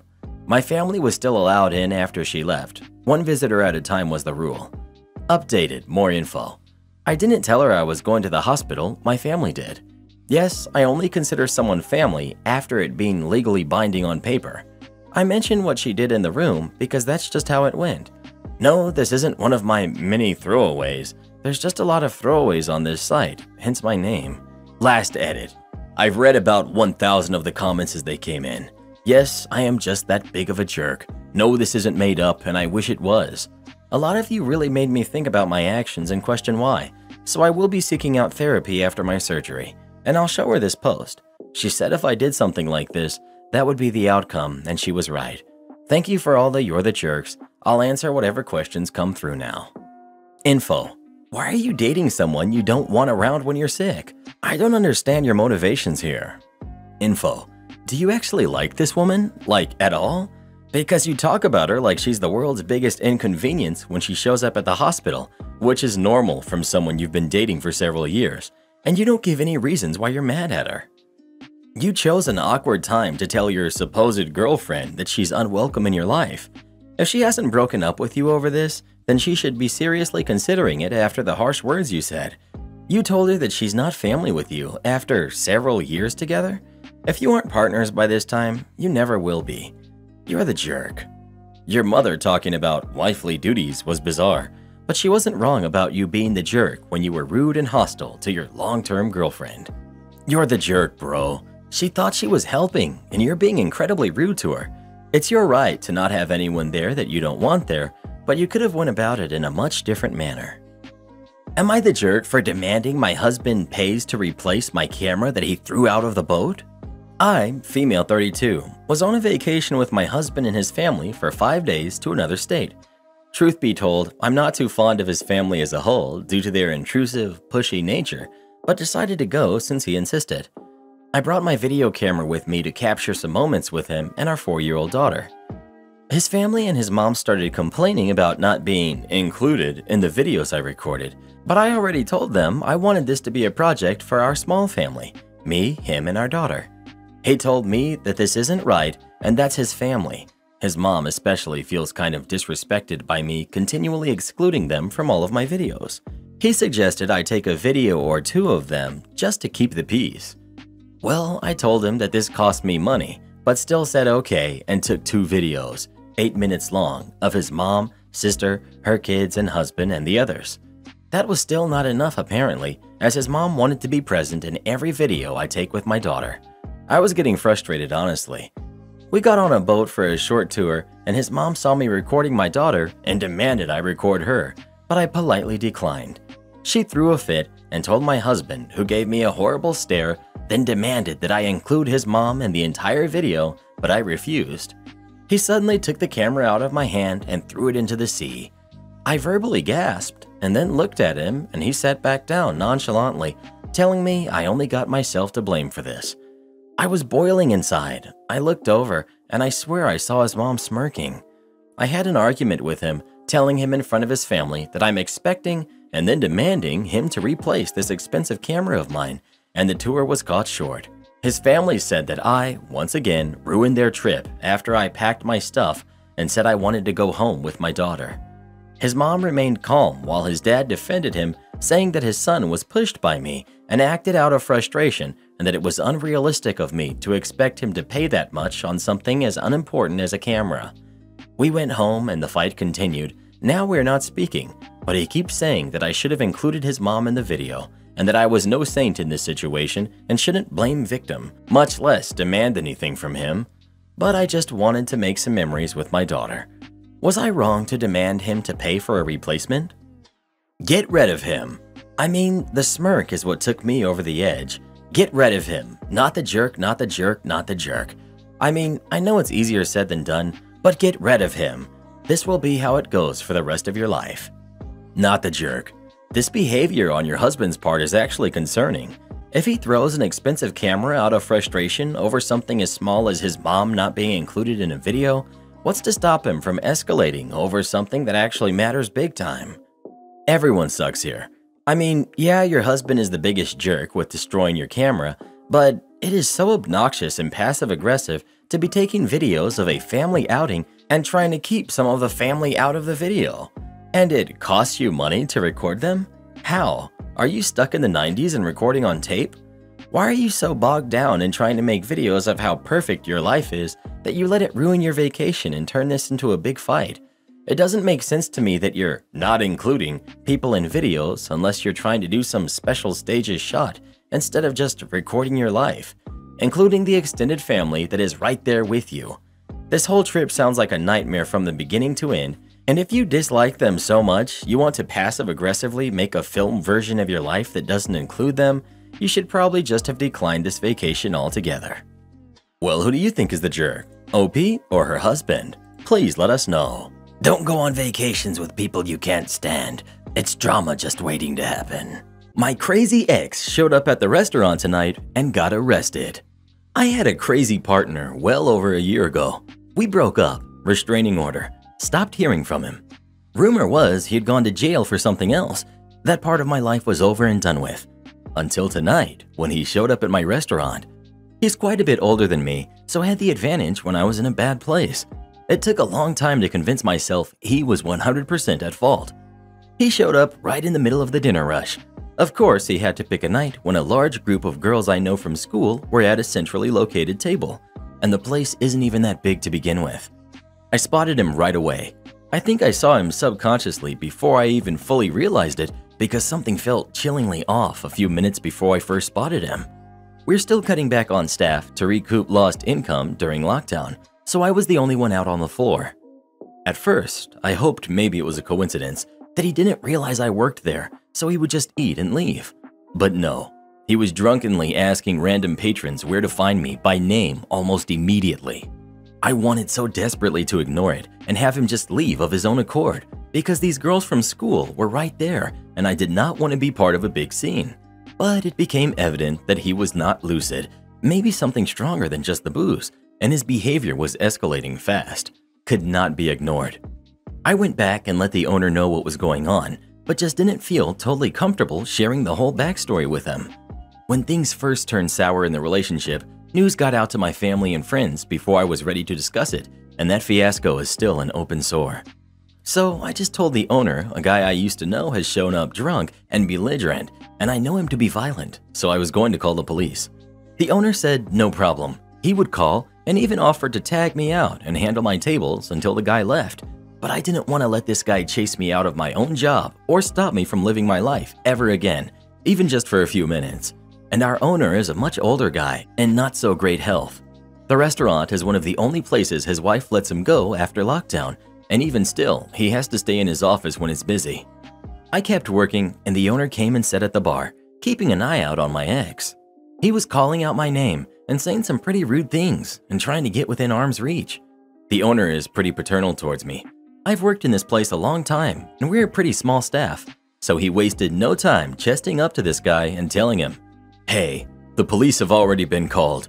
Do yourself a favor and get out. But my ex took that as a challenge and shoved this brittle old man hard.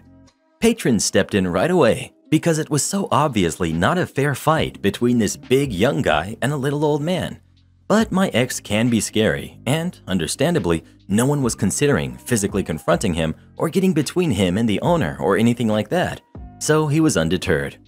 He started to scream at me, demanding I leave with him, and he tried to run at me. The line cooks heard the commotion going on, and a couple came out to see what the trouble was. Most of our cooks are scrappy, but small, and I think despite their egos, they knew from one look they'd need reinforcements. It had only been about 5 to 10 minutes since we'd called the police, and in this busy city area, it takes them 20 minutes minimum to respond to anything that isn't imminently life threatening. And all the owner had known to tell 911 at the time he called was we had a drunk and belligerent patron who might become violent. So we were definitely low on the priorities list. The line cooks went back and got one of my only real sort of work friends, coincidentally, also the biggest guy on staff, Lenny. Lenny moonlights with an industrial moving company, so stays in superb shape, and is also super heavy. So he's become kind of our de facto security ever since everyone forgot how to act in a restaurant during lockdown. I really don't know too much about where he comes from, but I know it's very difficult to rattle him. So Lenny comes out and quickly assesses the situation Someone tells him what my ex did to our poor sweet owner, and Lenny wastes no time. He tells this guy, You're leaving. You're leaving on your own, or with the silence implying what the alternative was. At this time, all Lenny knew was some drunk guy showed up and shoved our boss, who we're all fond of. So my ex told him some slurred drunken crap I couldn't really understand, but it was clear from his tone that it was not complimentary. Lenny went up to escort him out, and my ex freaks out and tries to break the nearest glass in reach to use it as a weapon. Fortunately, the nearest glassware was a thick beer mug, and he couldn't break it. Lenny shrugged this off as a sloppy drunk overestimating himself and tried to go in and get him in some kind of an armbar, but the owner warned him. Hold off. Tamira says he gets violent. Be careful. Lenny didn't know who this was yet, so he was like, This guy put his hands on her? and was ready to charge him. But the owner's like, no, no, it's her old boyfriend. Lenny doesn't know the whole story with my ex, no one at work does, but he does know more than anyone else there, so instantly put together who he was dealing with. Without even hesitating, Lenny swung at him like a pinata. My ex's lights were out. He dropped onto the floor. A couple of patrons who had wanted to get involved but didn't see an opening were emboldened to step in now that my ex was unconscious and got on top of him to make sure he wouldn't be able to leap back up when he regained consciousness, which is good because he was back almost immediately. Still groggy, but more than able to have gotten up and retaliated had these men not stepped in. Someone else was behind the bar looking for something they could use to tie his hands together with. He found a roll of packing tape and right in the nick of time because my ex was quickly getting his strength back and really fighting the guys restraining him. Lenny wanted to go launch back in on him, but the owner was talking him down, insisting it wasn't worth it. The Good Samaritans were trying to tape up his hands and feet, but the roll was nearly out, so it wasn't doing much. I was watching the whole situation unfold from behind the bar, just mesmerized and paralyzed with fear, almost like an out of body experience. Because it sounds like a long time when describing it, but at real life speed, this entire encounter from the time the owner came out to confront him couldn't have been more than three or five minutes. The police got there not too long after they had tried to tape him. It took three people to hold him down, one of whom got socked in the process, but they kept him secured until the cops got there. The police arrested him. My restraining order expired a year after it was granted, but I'm guessing they got him for the assaults or the disorderly conduct or something. And as they were cuffing him and going through the whole process, he was screaming that someone had assaulted him and he should be arrested as well. He was visibly injured, so the cops couldn't ignore that. They asked who had assaulted him, and he pointed at Lenny. One of the patrons who had helped restrain my ex started to speak up, saying, No, no, look, he did it in self defense. This man was out of control. But his buddy cut him off and basically said, This guy was banged up when he walked in. I've been here the whole time and I didn't see anything. Then his friend, who was initially offering Lenny a cover of self defense, realized the play and backtracked, saying, Yeah, yeah, we restrained him to defend ourselves, but nobody actually hit him. That other guy just works here. Which was a relief, because Lenny is a gentle giant but he's also kind of a mystery, so for all I know, he has priors that would have made proving self-defense difficult. The police dragged my ex out and took him in. I went home at that point, but I learned from the owner at the end of service that they also impounded the motorcycle he showed up on. That was a nice bonus. So it was all very scary. I'm glad to know my coworkers and customers have my back, but I still think I'll take a couple days off. Ultimately, just feeling grateful that I'm finally in a place where the good people in my life far outnumber the bad. Babysitting means paying your kids' dental bills? Years ago, I would often babysit my neighbor's daughter who was about nine. He was a divorced father with the kind of an ex that would send spreadsheets of child rearing expenses calculated to the penny and weekly invoices, complete with terms and penalties of her own choosing for late payments. He paid big child support and generally paid her invoices on time because she would cut off access to kiddo if he didn't. His ex, the snake, and I had basic text messaging contact. She and I had a previous dust up because a sudden weather change necessitated a jacket for Kiddo. We popped into the nearest discount store and I let her pick a jacket. Kiddo loved it, but her mother threw a giant fit at me because it wasn't brand name. I blew it off, and the neighbor and I laughed about it when he reimbursed me. She gave me the silent treatment. Darn. Time moved forward, Father always reimbursed kiddos' expenses and encouraged fun and healthy activities. One day, he called me and apologized that he was getting held up at work and kiddo had an orthodontist appointment. He asked me to take her, I agreed, and he called the dentist to authorize. We got there and they wouldn't see her without a payment, $225. It was necessary. Kiddo's braces were hurting her. Dad wasn't available, but I knew he would reimburse me, so I put it on my credit card rather than calling her snake of a mother. Kiddo got patched up, dad reimbursed me, I paid the card and didn't use it. A few months later, I got a past due call from my card company, repeat charges from the orthodontist. I let dad know and called the orthodontist, who told me I signed an automatic payment agreement. I gave my, oh no, I'm just the babysitter speech and didn't get far with them, so I canceled the card. Dad apologized profusely and he reimbursed me.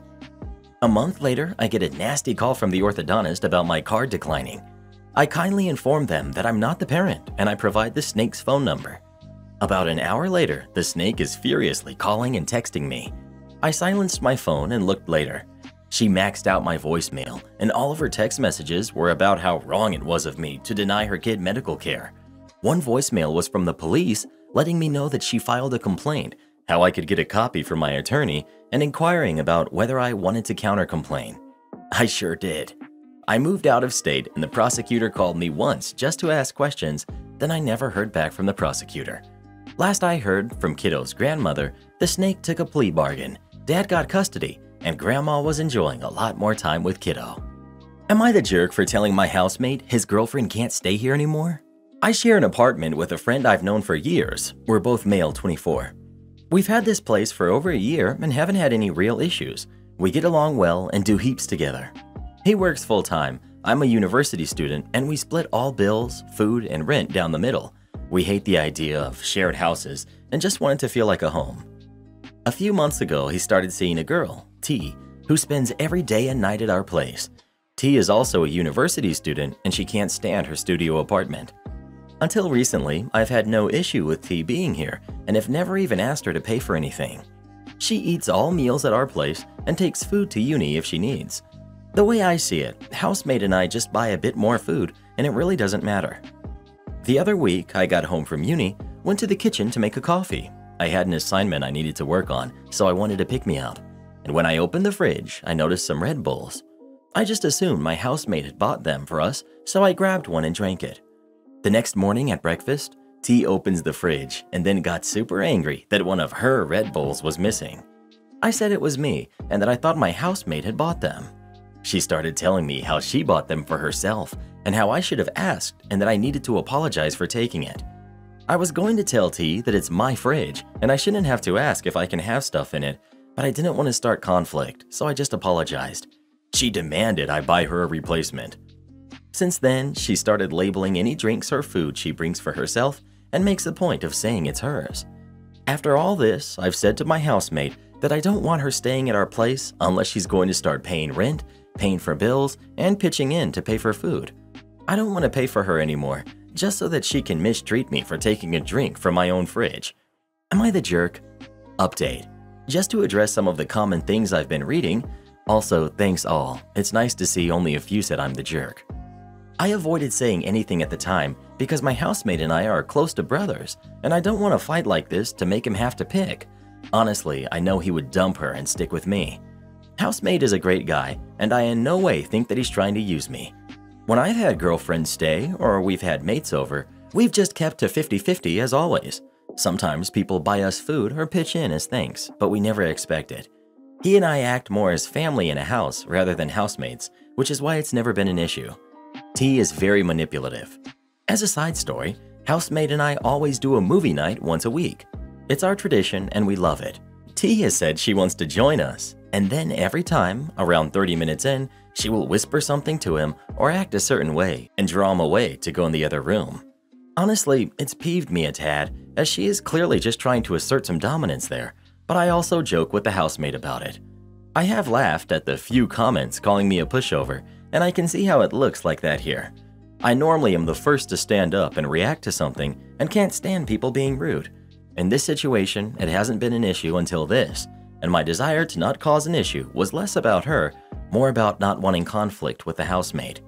Since I talked to him about her needing to pay or leave, she has spent more time at her own place but now just comes around and has the ability to destroy the mood in any room. I want them to separate. I think he can't see this lasting either, but she is hot and he doesn't think straight. Not the jerk. Your roommate may actually be violating the lease by letting another person stay over too much. But beyond that, you need to sit down with your roommate and try to set some reasonable visitation limits. Unfortunately, beyond getting the landlord to establish a no trespass on her, there's not much you can do to really enforce anything other than look for another place. Not the jerk. She has to chip in if she's staying over that much. It's still your house and your fridge. Petty solution. Write up all the things she consumes and present her with a bill, or demand that she buys you a replacement. Well, who do you think is the jerk? OP or the girlfriend? Please let us know. I want to know why she's drinking Red Bulls. Monster for the win, bruh. Am I the jerk for saying that I don't love my niece to her face? I know the title makes it look bad, but hear me out. I, 26 female, have a niece, Laura, who's 8, through my sister, Kim, who's 33, and another niece, Amy, who's 6, through my brother, Tom, who's 35. I know my siblings love their kids wholeheartedly, but when it comes to parenting, they each have different styles.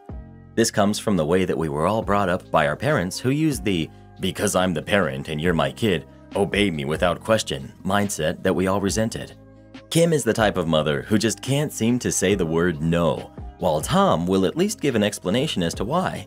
While Amy is a sweet, energetic girl, she does listen and know to respect people's rules and boundaries. Laura does not. Laura is entitled. Laura is impatient. Laura is whiny. Laura will go through a massive tantrum if she is denied anything and will get progressively worse the longer she's denied because she knows her mom will cave eventually. I haven't watched Laura since she was six and it was a nightmare. She yelled, screamed, kicked me, drew on the walls, and broke one of my framed pictures, all because I made her dinner instead of getting her fast food. Kim did apologize for Laura, but shrugged off the idea of giving out a punishment, citing that kids will be kids. Never again would I be responsible for my niece again. Amy, on the other hand, may need to be told something more than once, but ultimately is a respectful kid. I definitely babysit for Tom multiple times and do fun activities with Amy when I can. The coming August, before the start of school, I was planning on going with some friends to the Mouse Kingdom in Florida. Due to life events, they dropped out, but I still wanted to go and asked Tom if he and his wife would be down to come with me, and I'd go 50 50 on everything with them. They were delighted, and we all decided to go. Obviously, Kim found out and wanted to come too, but we all knew she couldn't afford it, so I thought everything was settled. Well, Laura found out, and at our family dinner, she was super upset about Amy getting a surprise trip, but not her. She then looked at me and said, Auntie, you have a nice job and no kids. You can pay everything. I told her that while I may make more money than her mom, I can't pay for everyone by myself. Laura said, Yes, you can. You had money to pay for that car. She pointed to my new car in the driveway. You can pay for me and my mummy to go too. I refused and cued the tantrum. It was awful, and she kept screaming, Why? and saying that if I really loved her, I'd make her happy by paying for the trip over and over. I kept refusing, and she got worse before I finally snapped and yelled back that I didn't love her. Ouch. That she was a mean girl and that I didn't like being around her. That definitely shut her up for a moment before she started to sob and cry. Kim is berating me for being so heartless and that I'm evil for favoring one niece over the other. Am I the jerk? Bruh. Edit for clarification. 1. Yes, I am aware that Laura's behavior is on Kim's choice of parenting. 2. Yes, Tom and I have spoken to Kim about Laura's behavior more than once, but it falls on deaf ears.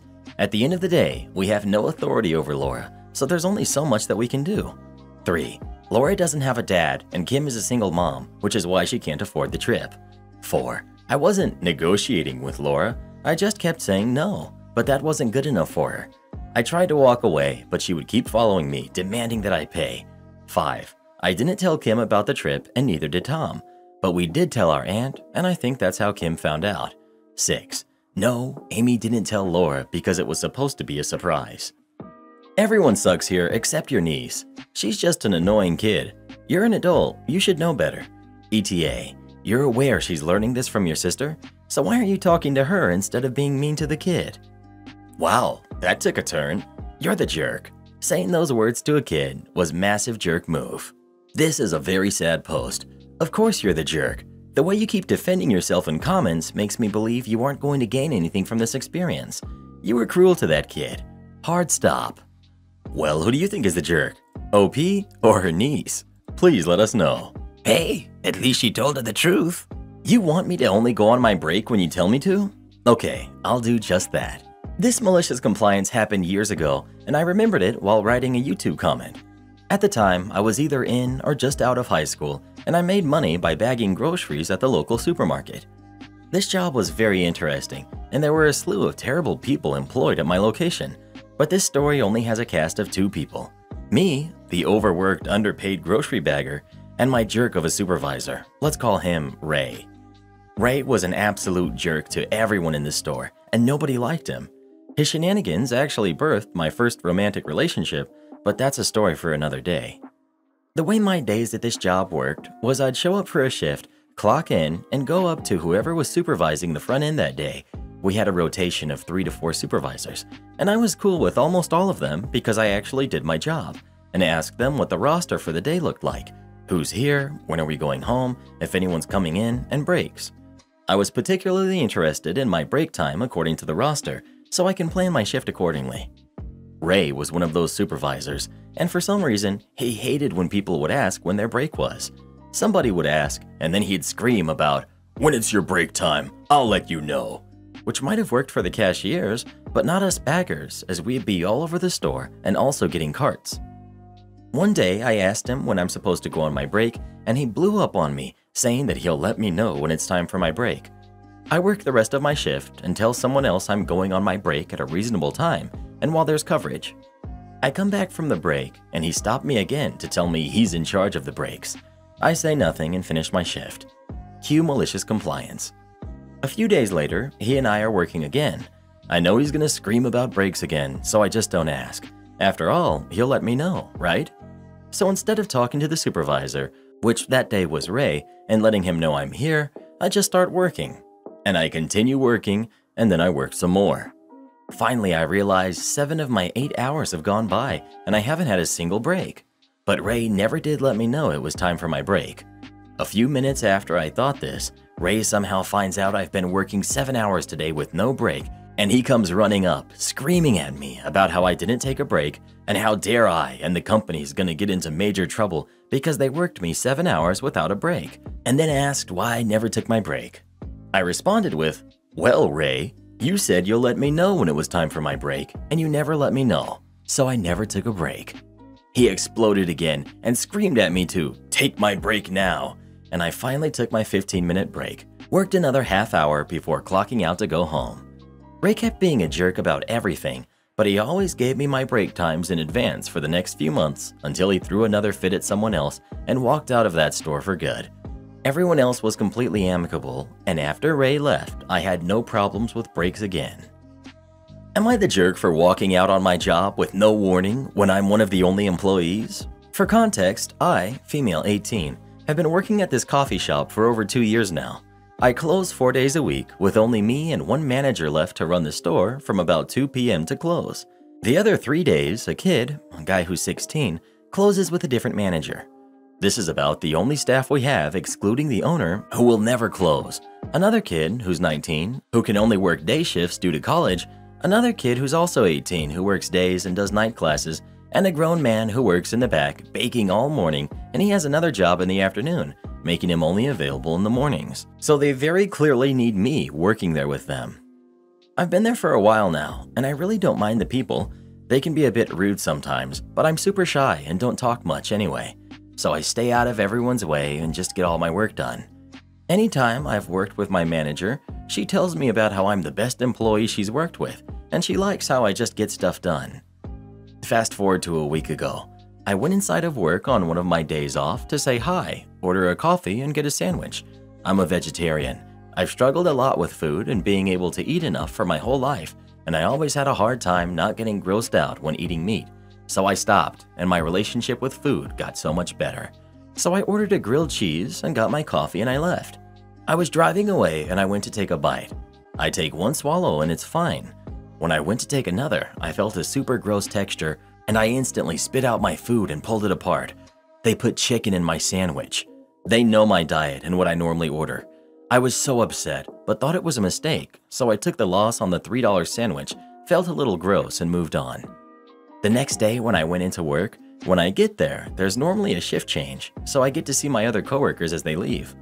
I was talking to a guy in the break room while getting ready to work, and he was about to leave. I casually made a little joke about how I'm never coming to this place again after they got my order wrong, just trying to mock rude customers, and I told him about my grilled cheese I ordered and how it came with meat. He laughed and told me that was actually our manager that made me that, and it wasn't an accident. She wanted to pull a prank on me and make me try the chicken because she said it's delicious, and she even gave it to me free of charge.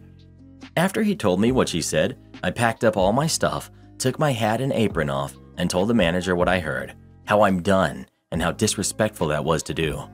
I'm still getting calls and texts telling me how rude it was to leave with no two weeks' notice, and how much this shows that I'm just petty and I can't take a joke. They are so short staffed now that they close early, and I know it's affecting their business. So, am I the jerk? Not the jerk. What she did is food tampering. I believe that it's against health regulations and it can be a crime in some places. I don't know the rules where you live not the jerk. Two weeks is a courtesy, not a legal requirement. This established stop deserving your courtesy when your manager played a prank on you, forcing you to eat something you don't eat. You burned that reference, but given how crappy they're being about this, they probably weren't going to give you a good reference anyway. Not the jerk. They're lucky you're not suing them. It's never okay to mess with someone's food. They didn't know whether you had an allergy or some other health issue. That was not a prank, it was bullying.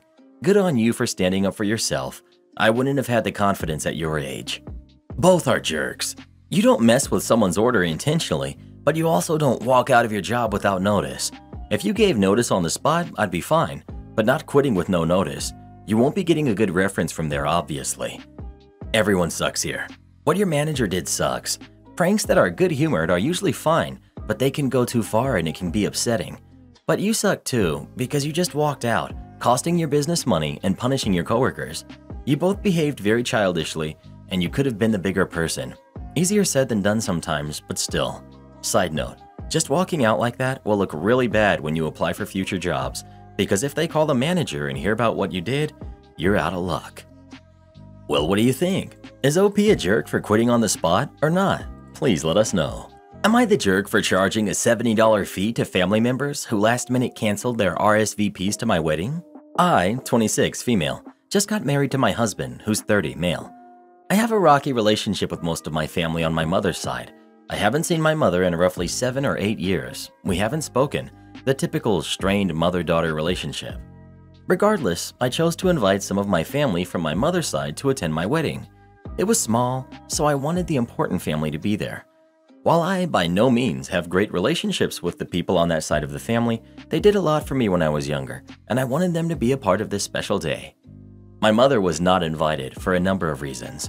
She's known to steal the spotlight and cause problems. Plus, she has openly shot down and berated my husband to family members, despite never meeting him on the basis that he is an artist, and that's how he makes a living. He makes far more a year than she ever has, a little ironic. So inviting her was just not a smart choice. Anyways, after sending invitations, word of course gets out on that side of the family that I'm getting married. I get a call from my cousin about three weeks before the wedding. She wanted to warn me that my mother had decided, for whatever twisted reason in her mind, to get married to her fiance of now a couple of years on the exact same date. Keep in mind that my wedding was planned eight months in advance. A week before my wedding, I get a call from one of my aunts on that side explaining that she will be unable to attend due to a family matter that has arisen. Code word for my mother's wedding, of course. As soon as I got that first call, I sent out a mass email to everyone explaining that anyone else who cancels last minute who has already RSVP'd will be charged $70 due to the catering and venue fees that would be wasted on them not being present. I would be able to enforce this given that all parties had to pay an additional $25 for each room that we booked for them at the hotel so I had all their information. And they were made aware of that charge. We paid for the rest of their room fees, by the way. Logically, I wasn't actually planning on enforcing this. It was just more of an I know what you are all doing and I'm really mad about it move.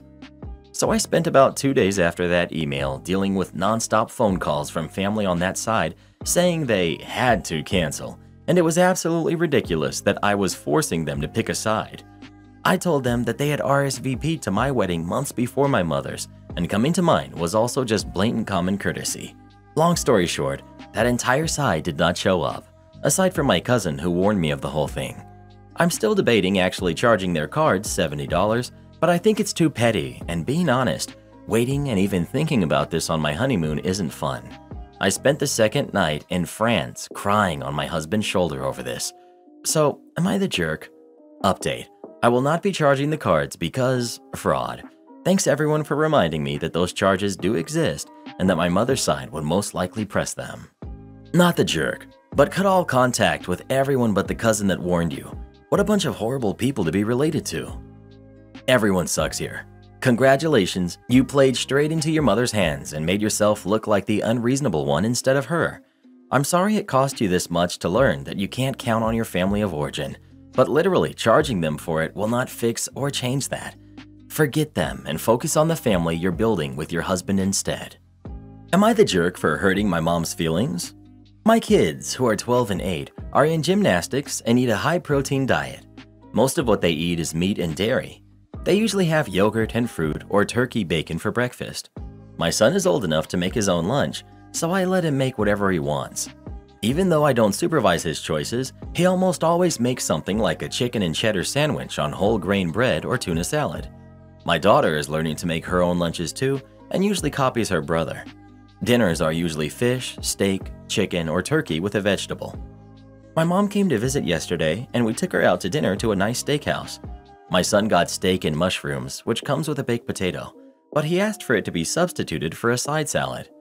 My daughter got surf and turf, which also came with a potato, which is fine. My mom teased my son for ordering a salad, which annoyed him. I told her to stop. She also tried to get my daughter to order off the kids' menu, but my daughter wanted shrimp and refused. I again told my mom to let them eat what they want. This morning, my mom made pancakes for breakfast before any of us got up. When my son woke up, he went to the fridge and got yogurt and blueberries. My mom told him to put them back because the pancakes were almost done. My son refused. They started arguing, which is when I came out, and again told my mom to cut it out. She said it was rude to get something from the fridge when someone is cooking for you. I said that the kids can eat what they like. When my daughter came out, she got some yogurt and sat with her brother to split the blueberries. My husband and I ate the pancakes, but my mom was upset. She said she wanted to take us all out to lunch to thank us for dinner. She took us to a pizza place. My son wanted the chicken parmesan. My mom said, No, he'll have pizza. I told the waiter to bring us the chicken parmesan on a separate check and I'll pay for it. My mom, again, accused me of being rude. My daughter asked for a slice of meat lover's pizza. My mom gave me a smug look and praised my daughter, which I could tell annoyed my son. When the food arrived, my daughter asked for some of my son's because it looked yummy. My mom said, No, eat your pizza. My daughter said, I will. I want to try the chicken. My son cut her a portion and put it on her plate. He said, I'll try some of your pizza too, so grandma stops being mean to me. My mom scowled at him and told me to reprimand him, but I refused and said she was, in fact, being mean to him and kids aren't stupid and can tell when someone is rude to them. The rest of lunch was awkward, and now my mom is hiding in the guest room. Husband thinks I should clear the air with my mom before the kids get back from practice. He said I didn't help anything and should apologize, otherwise, I might as well get her a hotel because the rest of the trip will be miserable. I may have been hard on her. Was I a jerk to my mom? Not the jerk. Why is your mom so set on controlling what the kids are eating? Isn't it better that they're at least picking healthy options versus gorging themselves on sweets? OP. I think she doesn't approve of their activities and is trying to prove something to me. She thinks they aren't having a real childhood. Well, who do you think is the jerk? OP or Grandma? Please let us know. Tell Grandma she can take us out for pizza whenever she likes. I could really go for some CiCi's right now. Am I the jerk for demanding my neighbors return my daughter's bike that she gave them? Yesterday, I noticed my daughter, 12, came home without her bike, looking a little upset. I asked her where her bike was, and she said she gave it to her friend who lives across from us. Now, I'll be honest, I was upset to hear that she gave away her bike as I'm a single mother of eight. Side note, don't judge me. Only four of my kids are biologically mine. The rest I adopted due to my friend passing and my sister's mental health problems. I worked extremely hard to get my daughter that bike. It was literally over a thousand dollars, but my daughter really wanted it and loves it, so it was also a surprise to me. But I let it go, because at the end of the day, I bought my daughter that bike. It's not up to me to control what my daughter decides to do with it. Later that day, I hear my daughter crying in her room, so I knock on her door to make sure she's okay. She broke down and admitted that her friend's mom pressured her into giving away her bike, even though she didn't want to. Now my daughter has already given her friend her old bike after she upgraded, so I honestly don't understand how selfish this woman is. The next day, I went over to the neighbor's house to speak to the mom without my daughter and demanded she return the bike, telling her that she better return the bike or I will report it as stolen and that she had no right stealing my daughter's bike from her. She denied stealing it, but in the end gave my daughter's bike back. She told me that I'm a psycho jerk who clearly has issues and that she doesn't want her daughter involved with people like me, so she'll no longer be allowing her daughter around mine. When I told my daughter that, she became really upset and blamed it on me. My daughter was really close to the neighbor's daughter and is now mourning losing a friend. I now feel like I approached the whole situation wrong and that I could have been more sensitive about the whole issue in order to salvage the friendship. Your daughter is 12, so any agreement she makes with an adult is not valid. That's your bike, not your daughter's. By the way, you have eight kids and you have a $1,000 bike for a 12 year old? What? When she gave it away, you initially just let the issue go? Are you okay in the head? Your daughter is upset. Big whoop. You'll see her upset a thousand more times. It's life. She'll be fine. OP. I'm always trying to evolve with my parenting. I just feel like if I give my daughter something, then I don't own it anymore, as it would be with anyone else. But I can see your point, and I could always learn and improve. My daughter is a really athletic person. I try my best to encourage her in whatever she loves doing. She's currently in boxing classes and also does cycling with a group of kids her age. Mailman wasn't trying to deliver my packages, I got revenge. For context, in my country, if your package gets sent through the National Post Service, you're basically done for. It takes 200 years and they never actually deliver it. I don't know how it is in other countries, but here they're supposed to ring the doorbell if the package doesn't fit the mailbox, and if you don't answer, they leave a notice and you have to go pick it up all the way at the post office. The problem is that my mailman doesn't even try to deliver them. He just leaves the notice without even ringing the doorbell and leaves. I've had to pick up nearly every package I've ordered because of that. Well, this time it was my last straw. I was obviously home because of lockdown. Suddenly, I received a call that immediately hung up. It was so fast that my phone didn't even ring, just showed up as a missed call. No doorbell, no nothing. I suspected it was the mailman and ran to the door only to find him inside the truck, looking straight at me before driving off. Well, I was upset and I called the post office to file a complaint. I explained the situation and the lady told me that I couldn't file a complaint because they are only instructed to ring the doorbell and calling is optional and I couldn't prove that he didn't ring it. At first, I just avoided using them again at all costs, but the other day I ordered something and chose a delivery company from the ones listed on the website. Apparently, that company hires the National Post Service to deliver for them here. When I found out, I basically stalked the tracking info for days. It was about two weeks late. Until one day, late at night, it said it had arrived in my country, which usually means that the next day it's going to be delivered. The next day, I woke up at 7 a.m. to check. My suspicions were correct. It said, out for delivery. I quickly grabbed something to eat, got in my car, and parked right outside of my house. Then I waited and waited and waited. Six hours in total until I finally see the post truck pulling over. I grabbed my phone to record and watched as the mailman opened the door, already with a notice in his hand, and slid it inside my mailbox and turned around. I got out of the car and said, Excuse me, what are you doing? He didn't even look at me and said, Just delivering packages, miss. Then I stood there as that jerk grabbed his phone to call me and quickly hung up. I smiled as I took my phone out of my pocket and sarcastically stated, Oh, bummer, you didn't even give time to reach for the phone. He literally turned white. He couldn't even speak. I continued, Now, can you give me my package, please? He quickly opened the truck, almost tripped, and took out my package. See, wasn't that easier than your whole scheme? He finally manages to say, Sorry, miss. I turned around and left. He probably thought he got lucky I didn't say anything else, but little did he know that I sent the video to the post office via email attached to my complaint. Well, let's just say I got a new mailman. This one tries to leave one second after ringing the doorbell, but at least he rings. Edit 1. Everyone saying I should just install a camera, that would work, yes, but then he would leave with the package and I would have to go pick it up. I wanted my package that day. 2. For everyone saying I got him fired, and that's not something to brag about, firstly, as much as it isn't his fault and he's just following orders, he was not nice or professional. He literally saw me at the door one time and drove away while looking at me. Secondly, we don't even know if he was actually fired. I might be wrong, but I think here the regular mail carriers are considered public employees, which means they are rarely fired, just transferred to a different job. My mother-in-law is threatening to sue me for grandparents' rights. I, 28 female, have been married to my husband, 30 male, for two years, and we've been together for almost 10 years. I love my in-laws and have never had an issue with them, at least before I was pregnant with my first baby. My mother-in-law has one other daughter, let's call her Jane, but she lives across the state. She has two boys and is done having kids. She lives close to her mother-in-law, and the boys are pretty close to her, which obviously causes some jealousy issues with my mother-in-law. My whole pregnancy has been one big guilt trip about how she never got to be there for Jane for her pregnancy. She would touch my belly or get really close to it to talk to the baby. I would tell my husband that it made me uncomfortable, and while he was understanding, he also felt bad for his mom too, and reminded me about how she missed many moments with Jane. During the last couple months of my pregnancy, we made the decision to move in with my in-laws to save money for a house. This made my mother-in-law so happy. She kept telling everyone she was excited for the baby to come home to her.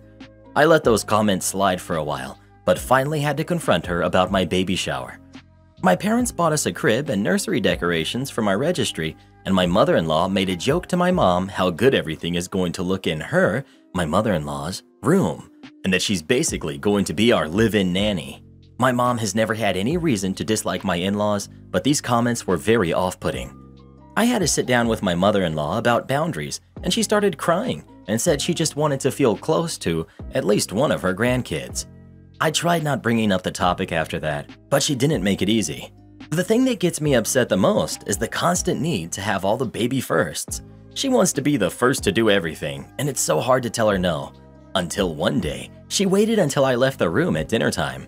When I came back, my husband excitedly told me how much the baby will love mashed potatoes and that my mother in law gave her a small spoonful and she went nuts. My mother in law said, You weren't supposed to tell her. It was Grandma's little secret. I snapped. I said, That's my kid, and there will be no secrets, no matter how small. Things got tense, and I got called dramatic, and that she's allowed to have grandma moments with my kid, whatever that's supposed to mean. I think my last straw is this. My husband and I have just been approved for our loan and will be signing papers on a house soon, about 45 minutes away from my in laws. Lately, she's been going on about how it's unfair to her and how she doesn't know how to handle her baby being so far away. She's, jokingly, brought up suing for grandparents' rights or about setting up her new room. I wouldn't be so upset if it was one or two jokes, but after hearing about it daily, it's starting to feel less like a joke and more like she wants to take my baby. Am I the jerk for wanting to have another sit down? Not the jerk. She has a serious jealousy and boundary issue and should talk to someone to get her some help with it. Do not give this woman a key to your house. Not the jerk. I'd be having a sit down with you, your husband, your mother in law, and if she's married, her husband, laying down the ground rules. If mother in law doesn't abide by them, she gets put in a timeout until she learns to respect her role as grandmother, not mother. The threats of suing for grandparents' rights is highly dependent on the state y'all live in, but until she knocks off the threats, I'd limit her time that she gets to spend with the baby. Move out ASAP. She obviously gets highly dependent upon fantasized connections and will only get more attached, not the jerk. Well, who do you think is the jerk? OP or mother in law? Please let us know. I never got to meet any of my grandparents, but if I could have and they really loved me, I think I would have turned out different. Manager insists I do my job properly. Happy to comply, sir. Preface In early 2020, I was hired under the title Assistant Manager at a local automotive shop. We mainly sold tires and alloy wheels for passenger vehicles. The company owned several stores. I reported directly to my manager, who then reported to the owner of the company. Shortly after I was hired, I noticed the behavior of the manager was far from professional. He would constantly mock and berate me for being the new guy. I believe part of this was jealousy and insecurity on his part, as I ended up recording more sales under my name within the first few months. He would also knock off, work early, and start drinking beer whilst the rest of us continued to work. I remember when he found out that I participated in MMA training sessions after work, he tried to goad me into a fight for his own amusement. Clearly, this guy didn't like me, and I was starting to get the feeling that he was trying to get me to snap or lose my cool, and as a result, my employment. I became even more certain of that with what happened next. Story. During the few months that I had worked there, I had noticed that our takings for the day and sales records did not match. I would often spend half an hour to an hour after work trying to figure out where the errors were coming from, whilst the manager would simply throw his hands in the air and exclaim that he had no idea how this was happening. The recurring issue seemed to be that our cash takings had been recorded incorrectly. There would sometimes be an excess amount of cash that didn't match up to what was recorded on our sales and invoicing software. Other times, there would be less. I was, at the time, an accounting student studying towards my bachelor's degree. I was already suspicious of the cash being taken out each day. However, given how the manager had been treating me up until this point, I was concerned that any complaint would somehow be twisted and used against me. And boy, was I right. Several weeks later, my manager took some time off. During this time, I managed a personal record in store sales and also noticed something interesting.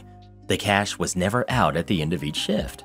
I reported this directly to the owner of the company, given I was acting manager during the time my manager was away. I was expected to report to the owner every day and explained what had been occurring whilst the manager was there. In all honesty, I was hopeful that the owner would be having a word with the manager about the discrepancies. However, I was also weary, as I believed once the owner spoke to my manager that the manager will immediately know it was me who reported this. When the manager returned to work, he immediately approached me with a disgruntled look on his face. I've spoken with the owner. You tried to blame me for the discrepancies? You should focus on doing your job properly. Then this wouldn't happen. I was quite taken aback by how angry he was, though I wasn't surprised that he twisted it and tried to place the blame on me. Given his reaction, I'm even more suspicious at this point. He wants me to do my job properly, eh? Cue malicious compliance. That same week, I got to work. I started paying attention to what customers were paying when they were dealing with my manager. Behind his back, I began examining all of his sales transactions and invoices with a fine comb. As the days rolled by, I started to find evidence of his dishonesty. When it came to a few cash sales, my manager was doing the following. Example, would tell the customer the price is $200 if he pays cash, would discount the price by $50 in the sale and invoicing software, would put the extra cash into the till and record a $150 cash sale. Before we did the cash up at the end of the day, he would sneakily pocket this extra cash whilst no one was around, though he was very foolish as he clearly couldn't remember the exact amount he had swindled. Hence why the cash would be up some days, didn't swindle enough, or the cash would be down, swindled too much. I took screenshots of the discounts he had been giving on sales and sent them to the business owner, along with a report. A report with a detailed description of my findings. The report also showed that on all days he wasn't there for the cash count, there was no variance. When he was there, well, the owner was infuriated. This man had been his trusted employee for years. The owner was so infuriated, in fact, that he ordered my manager to do a mandatory drug test on the same day he found out, and no surprise, he failed. Turns out the manager had quite a bad habit. This was most likely his sole motive for stealing the cash, and the owner was beside himself. We operate machinery every day in this store, and so the thought of a manager walking around after he had been doing something like this wouldn't sit well with any health and safety professionals. In fact, it could have landed the owner in serious legal trouble if any accident or injury occurred under his manager's watch. The manager was terminated immediately for violation of his contract and was later taken to court by the owner in an attempt to recover the stolen funds. Safe to say, I was promoted to store manager position shortly after his termination. Am I the jerk for leaving a bad review on a small store? So my boyfriend and I have a tradition for our anniversary that we each go to a store and separate. And after we buy each other gifts, we exchange in the car. It's silly and cute. We walked into this new mom and pop anime store. I'm a huge anime nerd, and my boyfriend likes video games, which they also sell. We separate, and I go look at stuff for my boyfriend. A worker walks up to me and starts chatting, then points at my leg. I have a pretty big tattoo from Naruto on my thigh, among other anime tattoos. He asks if I got that for my boyfriend, and I said no, I've always loved Naruto, and then I showed him my other anime tattoos. He started quizzing me on the lore of the anime, and I told him I wouldn't have spent $1,000 on tattoos of an anime I didn't know about, and I didn't appreciate him trying to catch me in a gotcha moment. He then told me that he didn't believe I could ever fully understand the real story of Naruto and the depth behind it. I told him I didn't need his services and he can go back to the front desk. He told me I was a rude wannabe jerk and walked into the back and I continued purchasing my items. I left a review later that basically said one of the employees called me names when I didn't want to prove my nerd cred to him. The owner left a comment on my review asking for an email conversation and asked that I take down my review because people have started complaining about this employee as well as his sale revenue has dropped. I told him I wouldn't, and maybe he shouldn't hire jerks if he doesn't want bad reviews. My friends tell me that I'm overreacting. Am I the jerk? Not the jerk. As if Naruto is some grand epic that's hard to understand. A 12 year old could understand it. OP. I love Naruto, obviously, but it's really not that deep. Not the jerk. You're not overreacting. If the store owner wants to get his revenue back, he can fire the jerk. You are under no responsibility to put up with this kind of treatment. Don't let anyone tell you otherwise. Not the jerk. I'd edit my review to add what the owner did with screenshots. Well, what do you think? Should OP remove the review or not? Please let us know. Absolutely not. That would kind of defeat the whole purpose of what reviews are for. I exposed my manager as a hypocrite. Backstory I work in a residential facility for people on probation. They can serve out a sentence there on work release or if they're sentenced to our treatment program. So they come and go a lot. Part of my job is sending anything new they bring back to the property office to be inventoried or held as contraband. Stuff that isn't illegal, but they can't have in the facility, like chewing tobacco. They're not allowed to bring outside food or drinks, so part of my job is throwing it away if it's perishable or unwrapped. This guy returned with a bag of burgers and burritos his job was throwing away, so I disposed of it and he complained to the policy compliance manager who runs the property office. She told me that I had to get with that client for financial reimbursement. I tried getting her to understand that I threw that stuff away because it would not keep back in the office, as her own policy states, and she didn't care. Her words to me were, Property officers are the ones who sort through the property for contraband or disposable items. Your job is not to review the property, just bag it up and label it with their name. Everything goes through property. She even underlined the word everything in her email. It felt like she was making up her own rules, despite what policy said, because she didn't want to deal with a complaining work release inmate. The malicious compliance. Yesterday, a client returned with a half-eaten bag lunch we provide people leaving for work in case they can't feed themselves. I saw my opportunity. I did exactly what you think and sent a brown bag of half-eaten sandwich and cornbread to be inventoried as property. I saw her email today going off on me for being passive-aggressive or that I need to be retrained. She normally doesn't CC anyone in her emails about issues, but she did today. My direct supervisor, the operations commander, and the deputy director were all included so they could see her complaining at me over the half-eaten food I sent her staff. She must have felt like Obi-Wan having the high ground. Too bad she did in fact underestimate my power. I included even more supervisory staff in my response and directly quoted her original emails to me and pointed out that she had told me her staff were the ones that throw things away and that I was to bag and tag everything. I was later told by my laughing supervisors that the director himself laughed as he told her, You told him to send you everything. You can't get upset because he did what you said. Edit. Some of the comment notifications I'm getting are from people apparently really upset that I'm throwing food away. While I do agree, it's important to look out for people trying to get their life together on probation. Please let me reassure you that we feed them three meals a day in our cafeteria. Make them food trays to be saved for later in a fridge, set aside specifically for people who miss meals due to their work schedule, and always have bag lunches made fresh daily for them to take with them when they leave. There are even vending machines available to them. We are not starving them if they try to bring in outside food. The rules about outside food are made clear to them day one. Chill.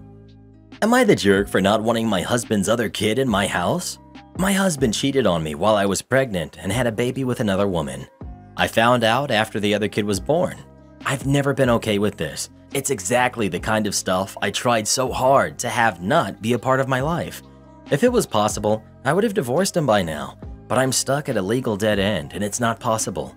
We have a legal and emotional separation agreement though. Since he travels a lot, and between the baby, my parents, and my career, I've been able to avoid thinking too much about it. Well, so I thought. It's been almost two years since then, and now he wants to bring that kid into my house. I guess he has some kind of schedule with the other kid's mother that includes visits, and he wants that visitation to be in what is technically still his residence. Absolutely not. I'm not a stepmother to any kid, and unlike in most of these situations, the house we're living in is truly only mine.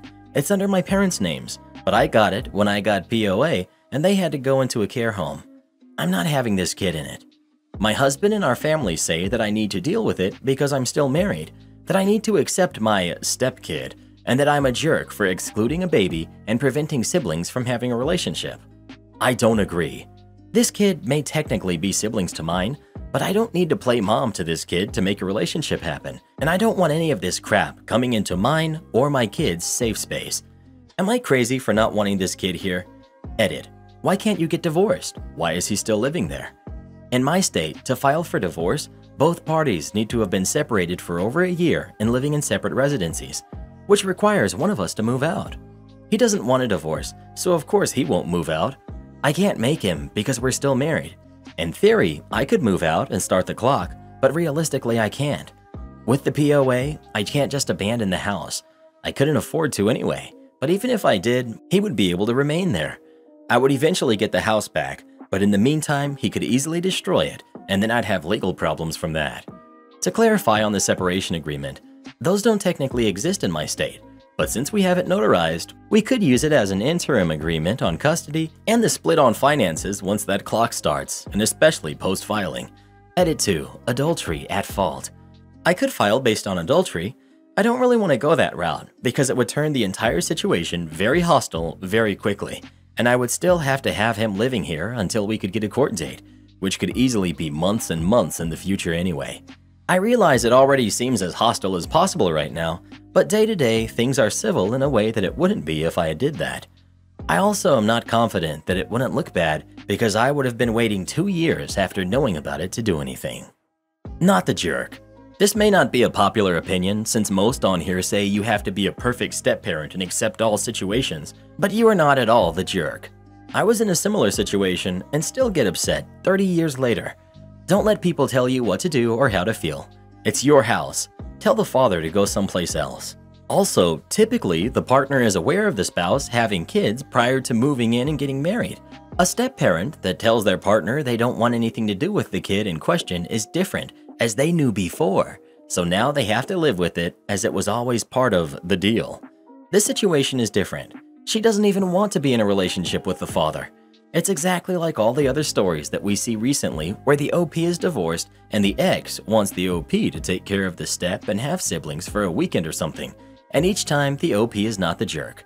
The only difference is that she's stuck living with the other parent, and the other parent is using legal loopholes to stay there and stay married, twisting OP's hand as it is. OP, I'm sure you checked all you could legally do in your state and have already thought of it, but just in case, since it's technically not your house, do you have the power of attorney? Is an eviction notice possible? Get a lawyer, a good one. He will bring his other kid. You need a lawyer to evict him. A lot of people who share a residence go through divorce. It shouldn't be this hard without another way out. Get a lawyer and file for divorce and evict him. Not the jerk. Not your kid, not your responsibility. And furthermore, in my opinion, that wouldn't be right having you look after the kid from his affair. Am I the jerk for accidentally telling my fiance I don't like his sister and she won't be a part of my wedding? This situation is literally ridiculous, but this whole thing has caused a huge divide across the family, so I'm here to get a consensus. Throwaways for privacy, even though there's a good chance my fiance will see it.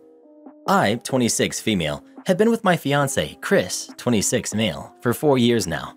He and his sister, 21 female, Lilac, are very close. They had a pretty rough childhood and always promised each other to be there no matter what. Lilac is a good sister to him, but as a person, truthfully, I can't stand her. She's literally the textbook definition of a bubbly blonde. She is overly charismatic, always giggling, and in general, just acts too immature for my taste. She likes to pull pranks every once in a while on my fiance, and he gets her back, but the whole ordeal just seems childish and obnoxious to me. Ever since we got engaged, I knew I didn't want her in my wedding party, because that means I'd have to spend time with her at my bachelorette and other parties. Fast forward to last night, and my fiance asks me when I plan on asking Lilac to be a bridesmaid. I got quiet and truthfully said I didn't plan on doing so. This upset him because he said he wants his sister to be a part of the most important day of his life, and that if I didn't do it, he was going to make her a groomswoman to make sure she's included. I can't lie, this set me off. I went off about how I want to feel respected by him and be able to enjoy my wedding day. He said he also wants to enjoy his day which to be fair, I understand. This is where I may be the jerk. I told him that I have always disliked his sister and wished he would just not include her for once on a day that isn't even about her.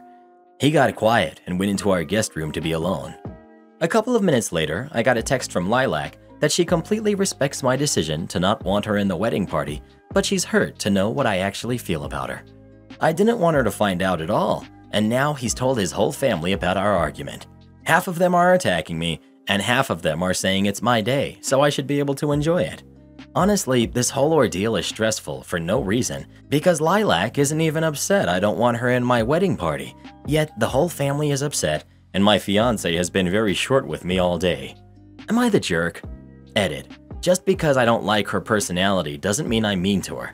Being around her drains my social battery, but I've never been mean to her, nor did I want her to find out, ever, especially in this way. I'm just super introverted, and our personalities collide. I don't want her at my bachelorette party because I want to enjoy it fully and not feel anxious the whole time because the personification of a human firecracker is attending. You're the jerk. You didn't want her in your wedding party because that means you'd have to spend time with her at your bachelorette party?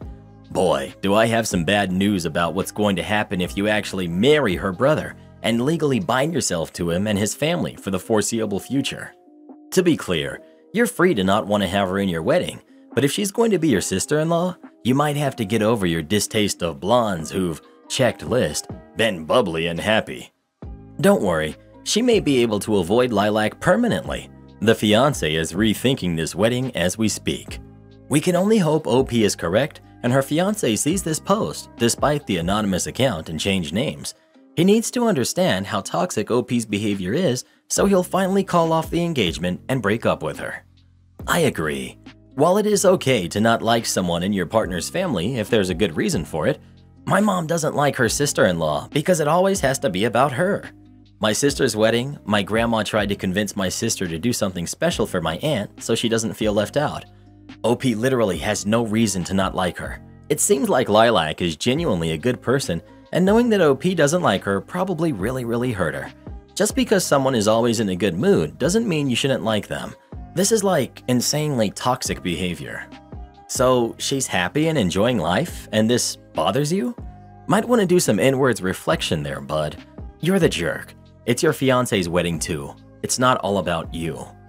You're the jerk, and you sound jealous of their relationship. It's not just your wedding, it's his wedding too. And if you don't want her there as a bridesmaid, then that's fine. But it's unfair for you to dictate that he can't have her on his side and blow up at him for wanting to include her. Lots of selfishness on your end. That's not a great way to start a marriage. It's not even like she's major drama. You just find her too giggly and obnoxious. Well, who do you think is the jerk? OP or her fiance? Please let us know. Has there ever been a wedding where there weren't people fighting about something? Am I the jerk for telling my pregnant sister she needs to go and making her move out? My sister, Allie, is currently 7 months pregnant with a daughter she's planning to name Violet. Allie moved in after she discovered she was about 2 months pregnant. She and her boyfriend agreed beforehand that they didn't want to settle down and wanted to stay childless. Her boyfriend had a vasectomy and they take other precautions, but Allie still got pregnant. Allie said that getting pregnant changed her mind about not settling down, and she wanted her and her boyfriend to get married so they could raise the baby together. Her boyfriend said he would pay child support and other things, but because of some stuff that happened in his childhood, he knew he wouldn't be a good enough father for Violet. They're still in somewhat contact, but have broken up. Several family members offered to let Allie move in as well, but she chose to move in with me. Since she's moved in, Allie has been a nightmare. She's nice to others, but vicious towards me, just recently, I didn't buy the right brand of sliced raisin bread. Allie wanted a different brand than the usual, but neglected to tell me that. And she went off on a tirade about how I was a failure in life, and it wasn't surprising my ex cheated on me. Allie never apologizes for her tirades and thinks I should just get over them because the hormones are giving her mood swings. Allie does not work at the moment and also does no help around the house. She's capable of moving, she goes to friends' houses, but will not pick up after herself because she claims those specific chores cause her immense pregnancy pain. Allie expects me to be her servant because she's pregnant. She once made me drive almost three hours to bring her food from the specific Italian restaurant because Violet was craving lasagna, it's for her. Anytime I put my foot down or am not 100% cordial with her, as in being tired instead of super enthusiastic, Allie will call my mother and she and other family members will shame me because they say I'm being a jerk to always expect Allie to be perfect when she's in pregnancy pain, and I will never know the demand of pregnancy on your body. I explain my side, but they argue the same things, along with how I should just help Allie because stress is bad for the baby. The tirades and demands for special food and items because Violet wants them have become daily occurrences, so I told Allie last week that we needed to talk. I explained to Allie that I love her but I just can't deal with her right now. I said I would help her move out and helped pack and bring her things to my mother's. Now my family members are calling me a jerk, saying I kicked out my own sister when she's pregnant. How Allie always looked out for you. Allie's four years older than me, and this should have been my turn to take care of her. How Violet's father isn't going to be in her life, and now she has an uncle who threw her out. I just can't handle Allie because of how physically and mentally exhausted I am. So Reddit, am I the jerk? Not the jerk. OP, if your family members are so concerned with her, she can move in with them. And the boyfriend needs to visit the doctor he had his procedure done at and get tested to see if he's even capable of being a father, as it's very likely that Violet is not his baby. Well, what do you think? Should OP kick his sister out or not? Please let us know. I see why her ex didn't want to stick around, and I do hope he actually gets a paternity test.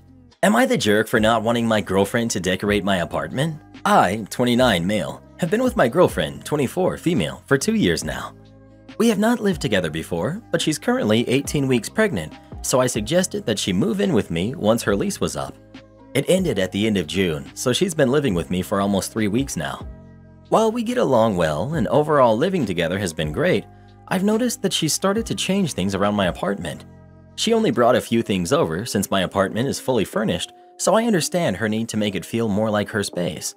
Everything in my apartment is mid-century modern. It's a mid-century modern building, and I bought the apartment because of how much I love that style. Some of the things that she's suggesting or bringing into the apartment absolutely do not go with the vibe. She's taken down some of my artwork and replaced it, cleared off shelves I curated and put her knickknacks on it, went through my pantry and cleared out things she thought were unhealthy, all without asking me. She works from home while I work in the office, so she has a lot more time at the apartment than I do. I just wish she would run things by me first. I'm an architect, she's an editor and doesn't have that same designer eye, which clearly shows. What really bothered me was that she started to throw some things away without asking. I went to take out the trash and saw that some birthday cards I kept were in there. When I asked about it, she said that she was just getting rid of clutter, but her stuff is more like clutter and mine has actual sentimental value. I told her to stop touching things in the apartment and she pointed out that she should have a say because she lives there, which I agreed with, but she doesn't run anything by me. Now she's being very avoidant and passive aggressive. So Am I the jerk? Everyone sucks here. You do realize that when you have a baby, your carefully curated apartment vibe will change very much, right? That said, she shouldn't be throwing your stuff out without asking you. Time to sit down, have an adult conversation, and come up with a compromise. Everyone sucks here. I would have said not the jerk if not for the, I told her to stop touching things in my apartment. She has an equal say in what your space looks like and a right to make it feel like her home for her. She's the jerk for making changes without talking to you, and especially for throwing some of your stuff out without your consent. You guys need to have a talk and reach a compromise. Did you go out of your way to make her feel like the home is hers when she moved in? It doesn't necessarily sound like that's the case. Everyone sucks here. Mostly you're the jerk though. It's not your apartment, it's shared now. There should be compromise even if it doesn't go with your vibe. Why should she ask if it's both of your spaces? The only reason I'm saying everyone sucks here is because she threw your cards away. That's not cool. She should have talked to you before throwing your things away. But you really need to figure out how to share space. Have you ever lived with anyone before? Well, who do you think is the jerk? OP or his girlfriend? Please let us know. Reddit boy didn't mind when I added these cool new lights above our head. Please let us know if we should keep them in the comments. Karen didn't show up for work, so I fired her. I own a vape shop. We're a small business, only 12 employees. One of my employees, Peggy, was supposed to open yesterday. Peggy has recently been promoted to manager after two solid years of good work as a cashier. I really thought she could handle the responsibility. So I wake up, three hours after the place should be open, and I have 22 notifications on the store Facebook page. Customers have been trying to come shop, but the store is closed. Employees are showing up to work, but they're locked out. I call Peggy and get no response. I text her, same thing. So I go in and open the store. An hour before her shift was supposed to be over, she calls me back. I ask her if she's okay, and she says she needed to take a mental health day and do some self-care. I'm still pretty upset at this point, but I'm trying to be understanding as I know how important mental health can be. So I ask her why she didn't call me as soon as she knew that she needed the day off. Her response, I didn't have enough spoons in my drawer for that. Frankly, I don't know what that means, but it seems to me like she's saying she cannot be trusted to handle the responsibility of opening the store in the AM. So I told her she had two choices. One, go back to her old position with her old pay. Two, I fire her completely. She's calling me all sorts of names now and says that I'm discriminating against her. None of this would have been a problem if she simply took two minutes to call out.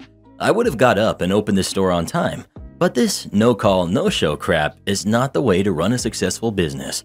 I think I might be the jerk here, because I'm taking away her promotion over something she really had no control over. But at the same time, she really could have called me. So Reddit, I leave it to you. Am I the jerk? Well, what do you think? Is OP the jerk? Or is Peggy? Please let us know. After sitting here listening to Reddit Boy every day for the past three years, I think I could use a day off myself. Entitled parents stole my meds and refused to give them back. I, 21 male, had a surgical removal of a cyst this afternoon. Mine had a pretty nasty infection, so it had to be removed ASAP. I went to the hospital with my fiance, 19 male, and my parents, who are 62 male and 57 female. Everything went very smoothly, thankfully, but as my parents were driving me and my fiance back to our apartment, we got into a discussion about the medication I was prescribed. Now, my parents are paranoid when it comes to meds. I don't blame them. I'm aware that some can be addictive, and I'm wary of it myself. They straight up told me that I shouldn't take it at all, and just take Tylenol and ibuprofen. I told them I'd rather have the medication I was prescribed just in case my pain got bad once the hospital meds wore off. I wasn't allowed to drive after my surgery, so they were supposed to pick up my medication for me. Well, they did, but with two of my pills missing. Well, that's fishy and annoying. I texted my mom, basically asking where my meds went. She didn't respond, so I kind of forced it by telling her I'd have to report the pharmacist if it wasn't her. She said, I took the other two. And I took them because that's all you can legally have and drive your fiance to work tomorrow. Okay? Wow. I had set money aside for him to be able to get an Uber tomorrow if he needed to anyways, which she would have known had she talked to me about it or even brought up these concerns at all. I was upset. I texted this huge paragraph that was basically saying either give them back or I'm filing a police report, that stealing like this was a felony, that I understand her fear, but this was absolutely not the way to go about it. 40 minutes later, I get a, we're here text and a pounding on my door. I waddle over and open, and my parents are standing in the doorway, very upset. My dad starts talking about how it was absolutely not okay to threaten legal action and that I needed to apologize. He said it was his fault that no one talked to me about it, that he's sorry, but then goes on a five minute rant of how I have an addictive personality. I was a smoker when I was 18. How he's concerned for me, how he would never use the law against me, that the surgeon is giving them out like candy, and that he's heard a lot of cases of people getting addicted to these and didn't want to risk it. I said that being concerned wasn't the issue. He couldn't take away my say on the situation. He couldn't just steal from me just because he's scared. At the very least, he should discuss his concerns with me like an adult. He did not like that. He played this game of keep away with the bottle, holding it out to me and then yanking it away to say more to me. Just kept arguing. I got them back after a lot of fighting. Am I wrong here? I need to know if I overreacted. Am I the jerk? Not the jerk. The fact that you think you might be means his gaslighting is working. They stole it from you, lied to you, and then tried to manipulate you, and tried to punish you for your completely normal response. Not the jerk. Surgeons are absolutely not just handing these out like candy. In fact, many chronic pain patients are now having great difficulty getting meds due to the doctor's reluctance. Not the jerk. My mom did the same thing to me all the time because she would always worry. That's why I live with my dad now, and he's never home, so I finally have the freedom I've always wanted. I'd go no contact with them if I were you. They obviously have no clue what they're talking about. Well, what do you think? Was OP the jerk for threatening to call the cops or not? Please let us know. Sometimes parents mess around and find out. Insurance firm insists on direct billing? Okay then, have it your way. I may get some insurance related terms confused because I'm not knowledgeable about private insurance systems outside of my country, India. My cousin is Indian and lives in India and works for a major American cruise line. His usual schedule is 9 months of work sailing around North America and 3 months of vacation time back in India. The maritime insurance company that he is insured with provides medical coverage for him. When he was on vacation in India, he tore his ACL and MCL and injured his meniscus playing football, soccer. It required a ligament reconstruction surgery and some months of rehab before he was fit to work again. There is public health care in India, but for something like knee ligament reconstruction, it still costs money, although not as much as at private hospitals, and also takes time as there is a waiting list. So he decided to go private, which is costlier. So he went to an arthroscopic surgeon and got a letter from him detailing the estimated cost of the surgery, the date, and other relevant medical details. He emailed the details to the insurance company and they approved the surgery. Only one problem. They insisted on direct billing to the doctor. Now, doctors in India are familiar with direct billing, but it's mostly with insurance companies that operate domestically in India. Naturally, the doctor was hesitant to accept the arrangement despite receiving a letter of guarantee from them. He simply wasn't convinced of the legal validity of a letter of guarantee from a foreign insurance company in India.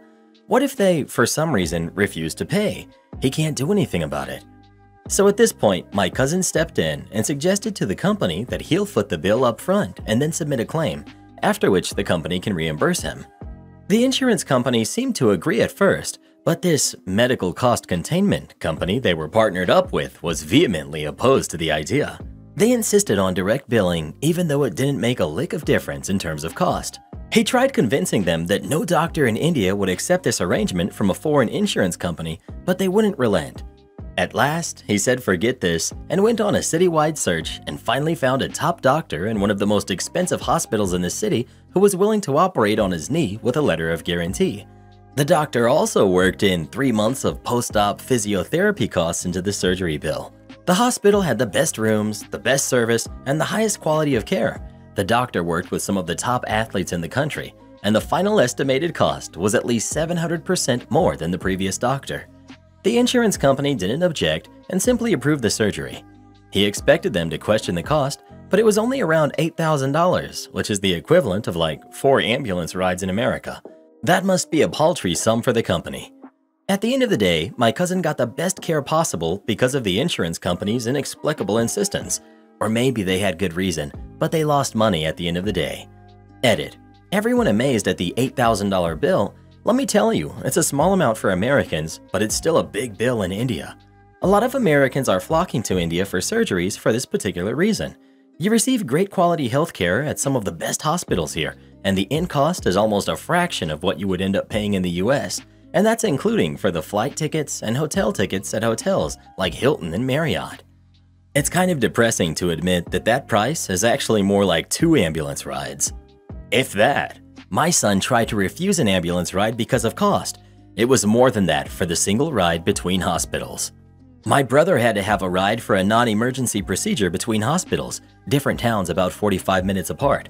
The first hospital refused to release him so my parents could take him to the other hospital.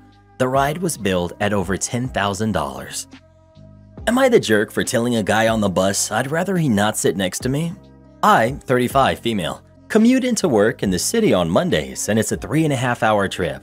I normally sit near the front, and there's always lots of extra seats open, including lots with open seats open, so you don't need to sit next to anyone if you don't want to.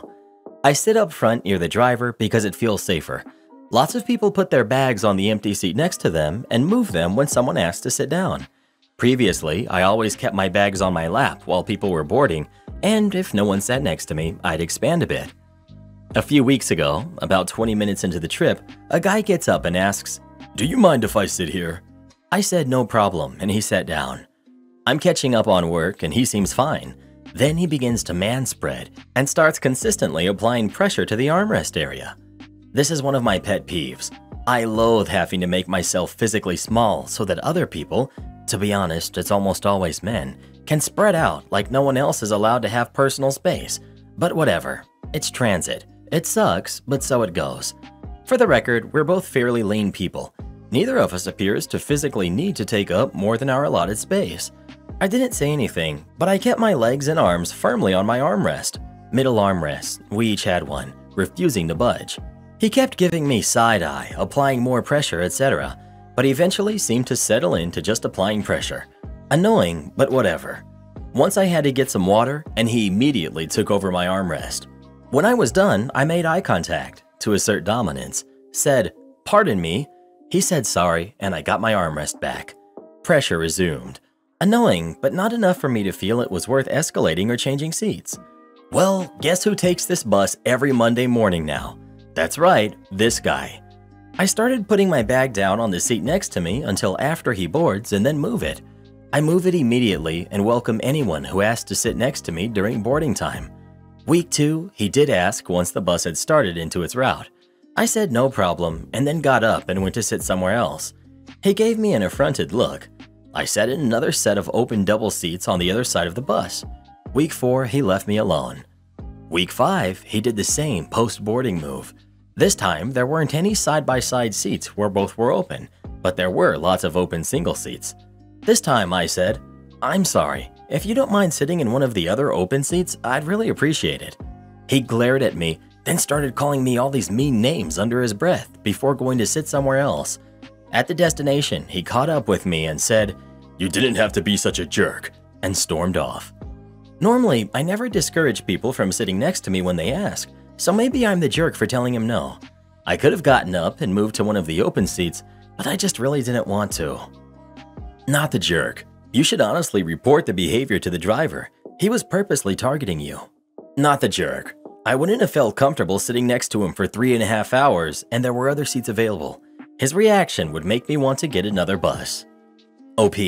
I wish there was another bus or literally any other way to transit in. I'd happily pay a bit more for a train to get away from him, but they haven't restarted the normal morning train after cutting it off when ridership dropped two years ago. This happened to me once when I was 21. I was on an empty subway car, and this guy came in and sat right next to me. So I started coughing really hard, just all over my stuff, really gross. He ended up getting up and moving to the next car. Not the jerk. He's being a creep. No one with good intentions specifically wants to sit next to the same person on public transit all the time. If he tries to interact with you again, I'd tell him that you're going to report his behavior to the bus company. Not the jerk. I'm guessing he has a crush on you, and in his weird, twisted reality, thought this was some kind of weird flirting. He was upset because you made it clear to him that it isn't. His fragile ego was probably dented and he lashed out. Do you have the same regular bus driver? If so, I'd mention it to them so they can keep an eye on the situation. If not, you could report it to the company, but if you don't want to do that, just be on guard around him. Well, who do you think is the jerk? OP or the guy who kept trying to sit next to her? Please let us know. Dude probably thought they were gonna start dating and get married and live happily ever after. Am I the jerk for asking my girlfriend to not embarrass herself at dinner parties? My girlfriend had kind of a rough upbringing, and now she turned out really successful. She's also probably the most self-confident and self-assured person I know, which I really admire, but just once in a while, she says stuff that's socially uncomfortable. For example, we were going to a dinner party, and my friend kept apologizing for her messy car. My girlfriend said, Girl, I grew up in a hoarder house and I'm in the middle of shoveling garbage out of that house. There's nothing on earth that could disgust me anymore. And while that's true, it was kind of an uncomfortable overshare. Another time, her coworker was talking about how their kid was really shy and she didn't know how to help. My girlfriend was like, Give her time, I'm sure she'll grow into herself. I didn't talk to anyone in school. Literally, I had no friends if you'll believe it. One last time, my girlfriend and I were at a networking event and one of my coworkers joked about how my girlfriend should enjoy grabbing thirds of a food when she's young, because she can't eat like that forever. Without missing a beat, she said, Oh, I don't think about food restriction like that anymore. It's an eating disorder trigger. Anyway, I'm trying to bulk up. Anyway, we had a big argument about it. We were invited to a dinner at my company's CEO's house this coming weekend along with a few peers. I asked her to not share anything uncomfortable there. She asked what I meant, and I gave her the same examples. I told her that kind of shamelessness about stuff most people find shameful is awkward. She was like, but it's not really shameful. And renovating and flipping a house? So many of your coworkers talk about that. I said it wasn't the house flipping, it was the fact that it was her family home, and it was a hoarder house, and it was weird to shamelessly talk about having no friends. She was like, that stuff is in the past, why would I be insecure now? I got exasperated and asked her to just not share stuff that most people would be embarrassed to say at the dinner. And she got angry and said that it sounded like I thought her whole life is embarrassing. So should she shut up? I said no, just talk about current stuff, like you just got a promotion, traveled to Europe, bought your dream car. And she snapped at me. But I'm also still shoveling garbage every day. So it sounds like you're just embarrassed of me. Forget you for saying I should have more shame. I'm proud of myself it sounds like you're the one who's ashamed. I'm still worried about how this dinner party will go, and I'm questioning whether I messed up by saying something. Am I the jerk for asking my girlfriend to not embarrass herself at a dinner party with my company's CEO? You're the jerk. Your girlfriend sounds like an emotionally intelligent woman relating to people in conversation. None of these are out of place for the topics. You might not like her saying it, but none of what you've described is weird or uncomfortable. She's right, you sound embarrassed by her past. I'm freelance and downsized, but I used to have a small amount of employees. If any one of them had a girlfriend at an event who spoke like this, I'd think she was straightforward, relatable, human, and sociable. None of that is shameful. You're the jerk. Sounds like you're extremely repressed and would be much better to find someone more your speed. Your girlfriend seems like too much of a free spirit and emotionally intelligent person. Find someone more emotionally stopped up like you. OP is hilarious. He's so insecure and clueless. It's hard to believe he didn't realize what he was writing as he posted. Girlfriend is a well adjusted adult, secure, outgoing, and sounds delightful. She can do so much better. You're the jerk. Your girlfriend isn't shameless. She's talking about real life. She doesn't care what other people think about her. You, on the other hand, have a lot of growing up to do. You're embarrassing, honestly. Well, who do you think is the jerk? OP or his girlfriend? Please let us know. If I were her, I'd let one rip at that dinner party and see how embarrassed he is then. Am I the jerk for buying my daughter a new car for her 16th birthday without talking to my wife about it, or buying new cars for my sons? I have four kids Lucas, who's 24, Jace, 22, Henry, 17, and Katie, 16. When Katie was born, I was very worried that we might end up favoring and spoiling her since she's our only daughter and youngest. I tried my best to never show favoritism and always treat my kids equally, but it turned out the opposite of what I expected. My wife clearly favors our sons. I tried everything. I talked to her, tried therapy, asked her parents to talk to her, showed her research about the negative side effects of favoritism, but nothing worked. I helped them buy a car. They each had to save money, and I would double the money they have saved and buy a car with it. We also have a tradition that the birthday boy or birthday girl will choose all the plans for that day where we go, what we eat, etc. That was also the plan for Katie's birthday. On the day of Katie's birthday, Henry had a basketball game, and my wife told us she wants to go with Henry instead of coming with us to celebrate Katie's birthday because apparently it was an important game. Henry told her she doesn't have to come, but she insisted she wanted to be there. We argued over this, but she ended up going there, and Jace went with them as well. I asked Katie what she wants to do, but she bursted out crying and said she doesn't want to do anything. Lucas went to her room and talked to her and finally convinced her to come with us, but she refused to choose what to do and she was silent the whole time, so I did the only thing I knew would make her happy. I took her to a car shop and told her she can choose whatever she wants and I'll pay for it and she gets to keep all the money she has saved. It really improved her mood. She chose a car and then we went to her favorite restaurant then they left me and went out together because apparently they wanted some sibling time, and I'm too old for what they wanted to do. When she came back home, she seemed very happy and told me she loved her birthday. When my wife heard about it, she got mad at me and said I had no right to buy a car without talking to her, and it's not fair that Katie got a new car for free when our sons had to save money for a used car. I know it was probably wrong to do this, but it made Katie happy, and Lucas thinks I did right. Not the jerk. You're making up for the lack of effort on your wife's part. She can be mad all she wants. If she had been there, then maybe you could have talked to her, but she wasn't. I'm glad your kiddo had a good 16th birthday, and I hope this doesn't cause too many issues in the family. It's already causing a lot of issues. That basketball game wasn't the most important game of his life. Her daughter literally burst out crying because of her awful mother's favoritism. Hopefully, OP's daughter goes no contact with her mother and realizes she missed out on a good relationship with her one and only daughter, not the jerk. Man, I really wanted to say you're the jerk because that's a big decision to make without asking your partner. But given that you walked into a dealership and said, pick a car, it's on me, I'm assuming you have some degree of serious money, so we'll go with the assumption that's not an issue. Not the jerk. But I would maybe like talk to your sons who seem innocent in all of this, about why you did it, and maybe do something nice for them too. Speaking of cars, if you could have any car right now for free, which one would you choose? Please let us know. Just give me a DeLorean so my life can be complete. I would like a raise, and time off, and I want to start this off by clarifying that this is not my story. It's the story of someone very close to me, and I will leave out a large amount of specific detail because quite a bit of the info is not mine to reveal. The build-up to the revenge is that this person had a horrible employer.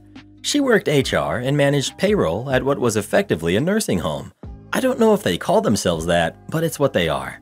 The company had a bit of a good old boys club going on, with all of the highest level management being older men, who all did less work and got more pay than pretty much everyone else. There were regular complaints from women who worked there, and many women were fired for absolutely absurd reasons, followed by their male coworkers getting raises. That in and of itself was bad, but it's not what instigated the need for revenge. What caused the burning desire to get back at the company was when the company fired my friend's manager, who was a woman, because she took a week off after literally breaking a leg, badly. The HR department was already badly understaffed, so my friend had to take on the responsibilities of this manager without any pay bonus. She requested a pay bonus multiple times, denied each time. A month or so later, the company hires a new manager to replace the old one at nearly twice the salary. The new manager is an older man. I'm not entirely sure what this guy actually did during the day because my friend continued to do all of the managerial tasks, and she knows that for a fact because the guy's account didn't have access to the systems he needed access to, and he never asked for that access.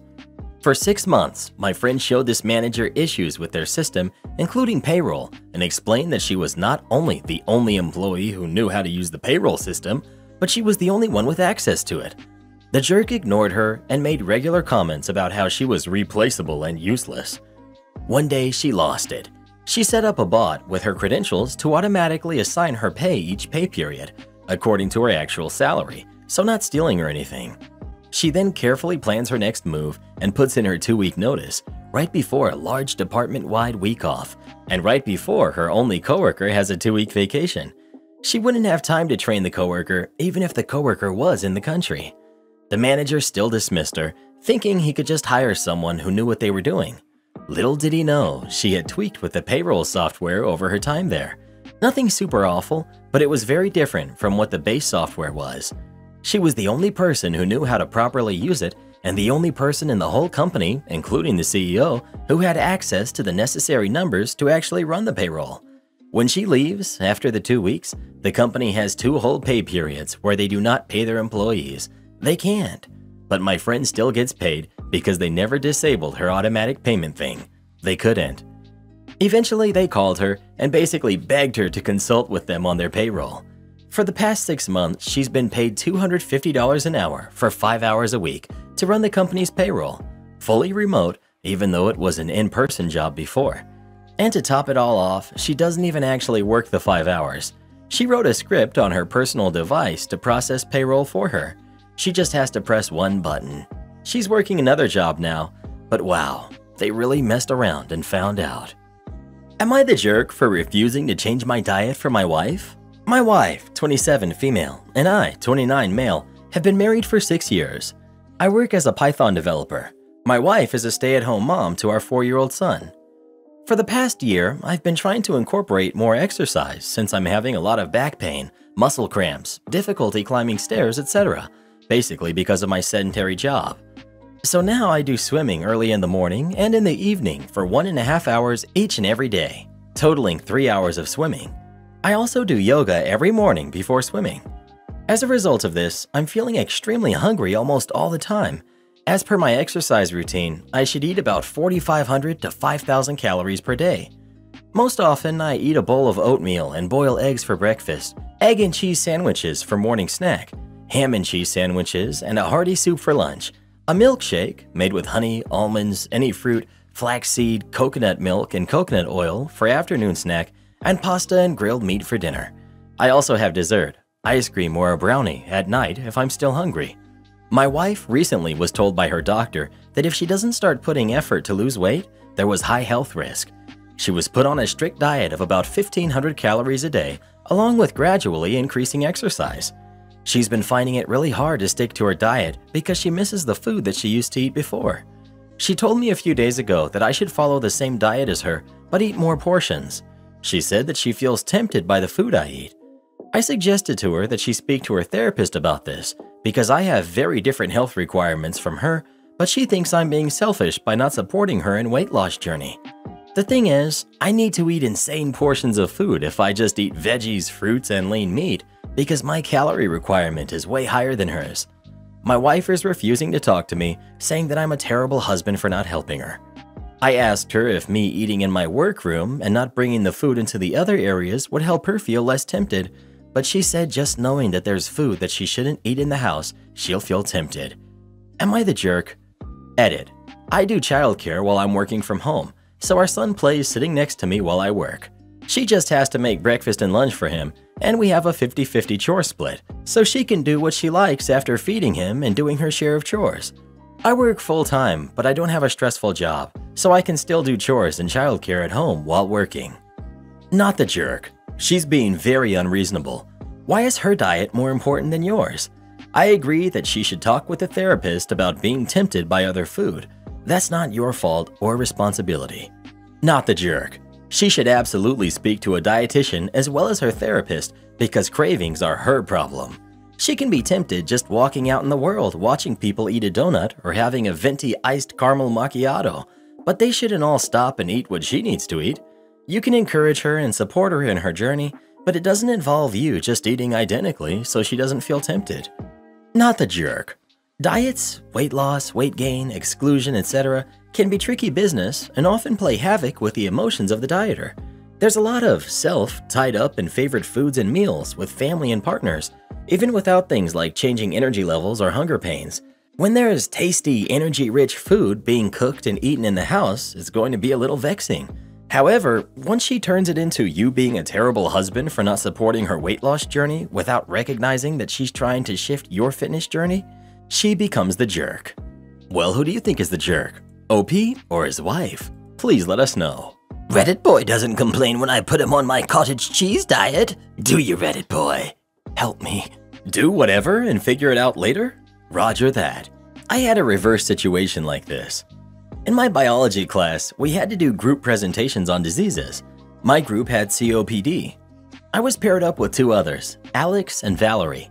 Valerie was the typical loudmouth bully, not in an American cheerleader sense, but in a please don't slam me against a wall intimidating way. Alex was the quiet best friend of the popular guys, nice enough in general, but lazy to the core. In my country, people get divided into academic levels at age 11, and they both have been in the top levels, so they were book smart to some degree. I, however, had purposefully chosen to go down a level because of my mental health, so I was a perfectionist and they knew it. Right when we got told to start working on it, they just kept ignoring me and chatting with their friends. When I asked them how would they know what to present to the class if they didn't research it all, they basically told me to just do whatever and we'll figure it out. So I did. I typed out an entire research document, multiple pages of notes and references, anything and all I could find on COPD that I could understand, and converted that into a comprehensive, beautifully designed PowerPoint presentation. When Presentation D-Day had arrived, I turned up to class well prepared, printouts and USB drive and Eastpak bag, ready to wow the class. The other two soon came to me asking what the game plan was, as they hadn't even as much as typed the word into Google. I told them not to worry, I had thought of everything, and I wasn't lying. When my group got called, I confidently walked to the front of the class, my teammates in tow sweating. Dear Mr. Bean, he looked like his twin with an even bigger mole, and class, my presentation is about COPD. I will be presenting it as Valerie and Alex refuse to cooperate with me on this project. I will, immediately followed by the class erupting in, oh, reactions. Total confused stutters and yells from the two next to me, and the teacher looking at the duo bewildered. Is that so, Alex? Valerie? When the two couldn't even answer what the topic was, they immediately tried blaming me for excluding them. But the teacher had witnessed their little tea parties happening during class, so he told us to drop the presentation and to each send in our own individual research documents as a replacement task. I already had them ready to go. No one ever tried to mess with me during assignments after that again. My ex-wife, Karen, refuses to let our kids have pets. I'm divorced, 6 years, and remarried 2 years. I have two sons with my ex, who are 11 and 13, both male. My wife has one son who's 9, male. My kid's mom lives less than a mile away. It's close enough for the kids to walk over, but far enough to be separate space. My boys move back and forth between their moms and my house usually once a week. We're flexible, especially during the summer because of travel, kid activities, etc.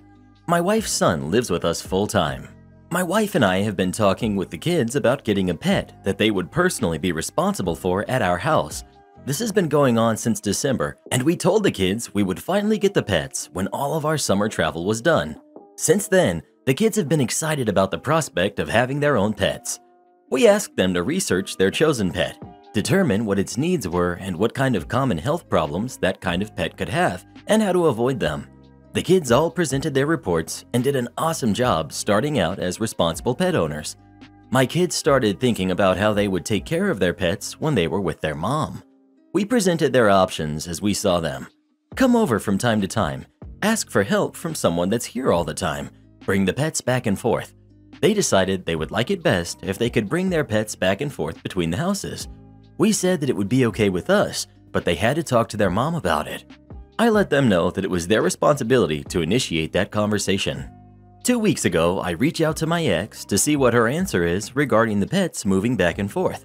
She lets me know how the kids approached that conversation, saying, Dad says we can bring the pets back and forth. I apologize and let her know that that wasn't my intent.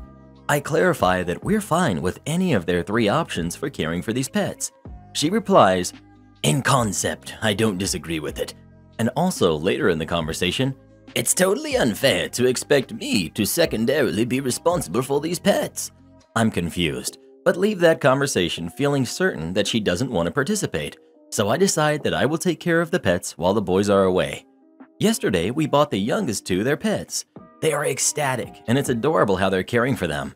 I get an angry message from my ex stating that the purchase of their pets is an imposition on them, regardless of whether they go to their house or not, and a bit of patronizing. I understand that you and your wife are excited about having an autonomous family unit of your own, but you continually make decisions together in a vacuum that impact the wider scope of immediate family, and it's really not okay. Am I the jerk for buying these pets without her approval? Support our channel by joining as a member today, and we'll give you a shout out in our next video. Or come watch this video next.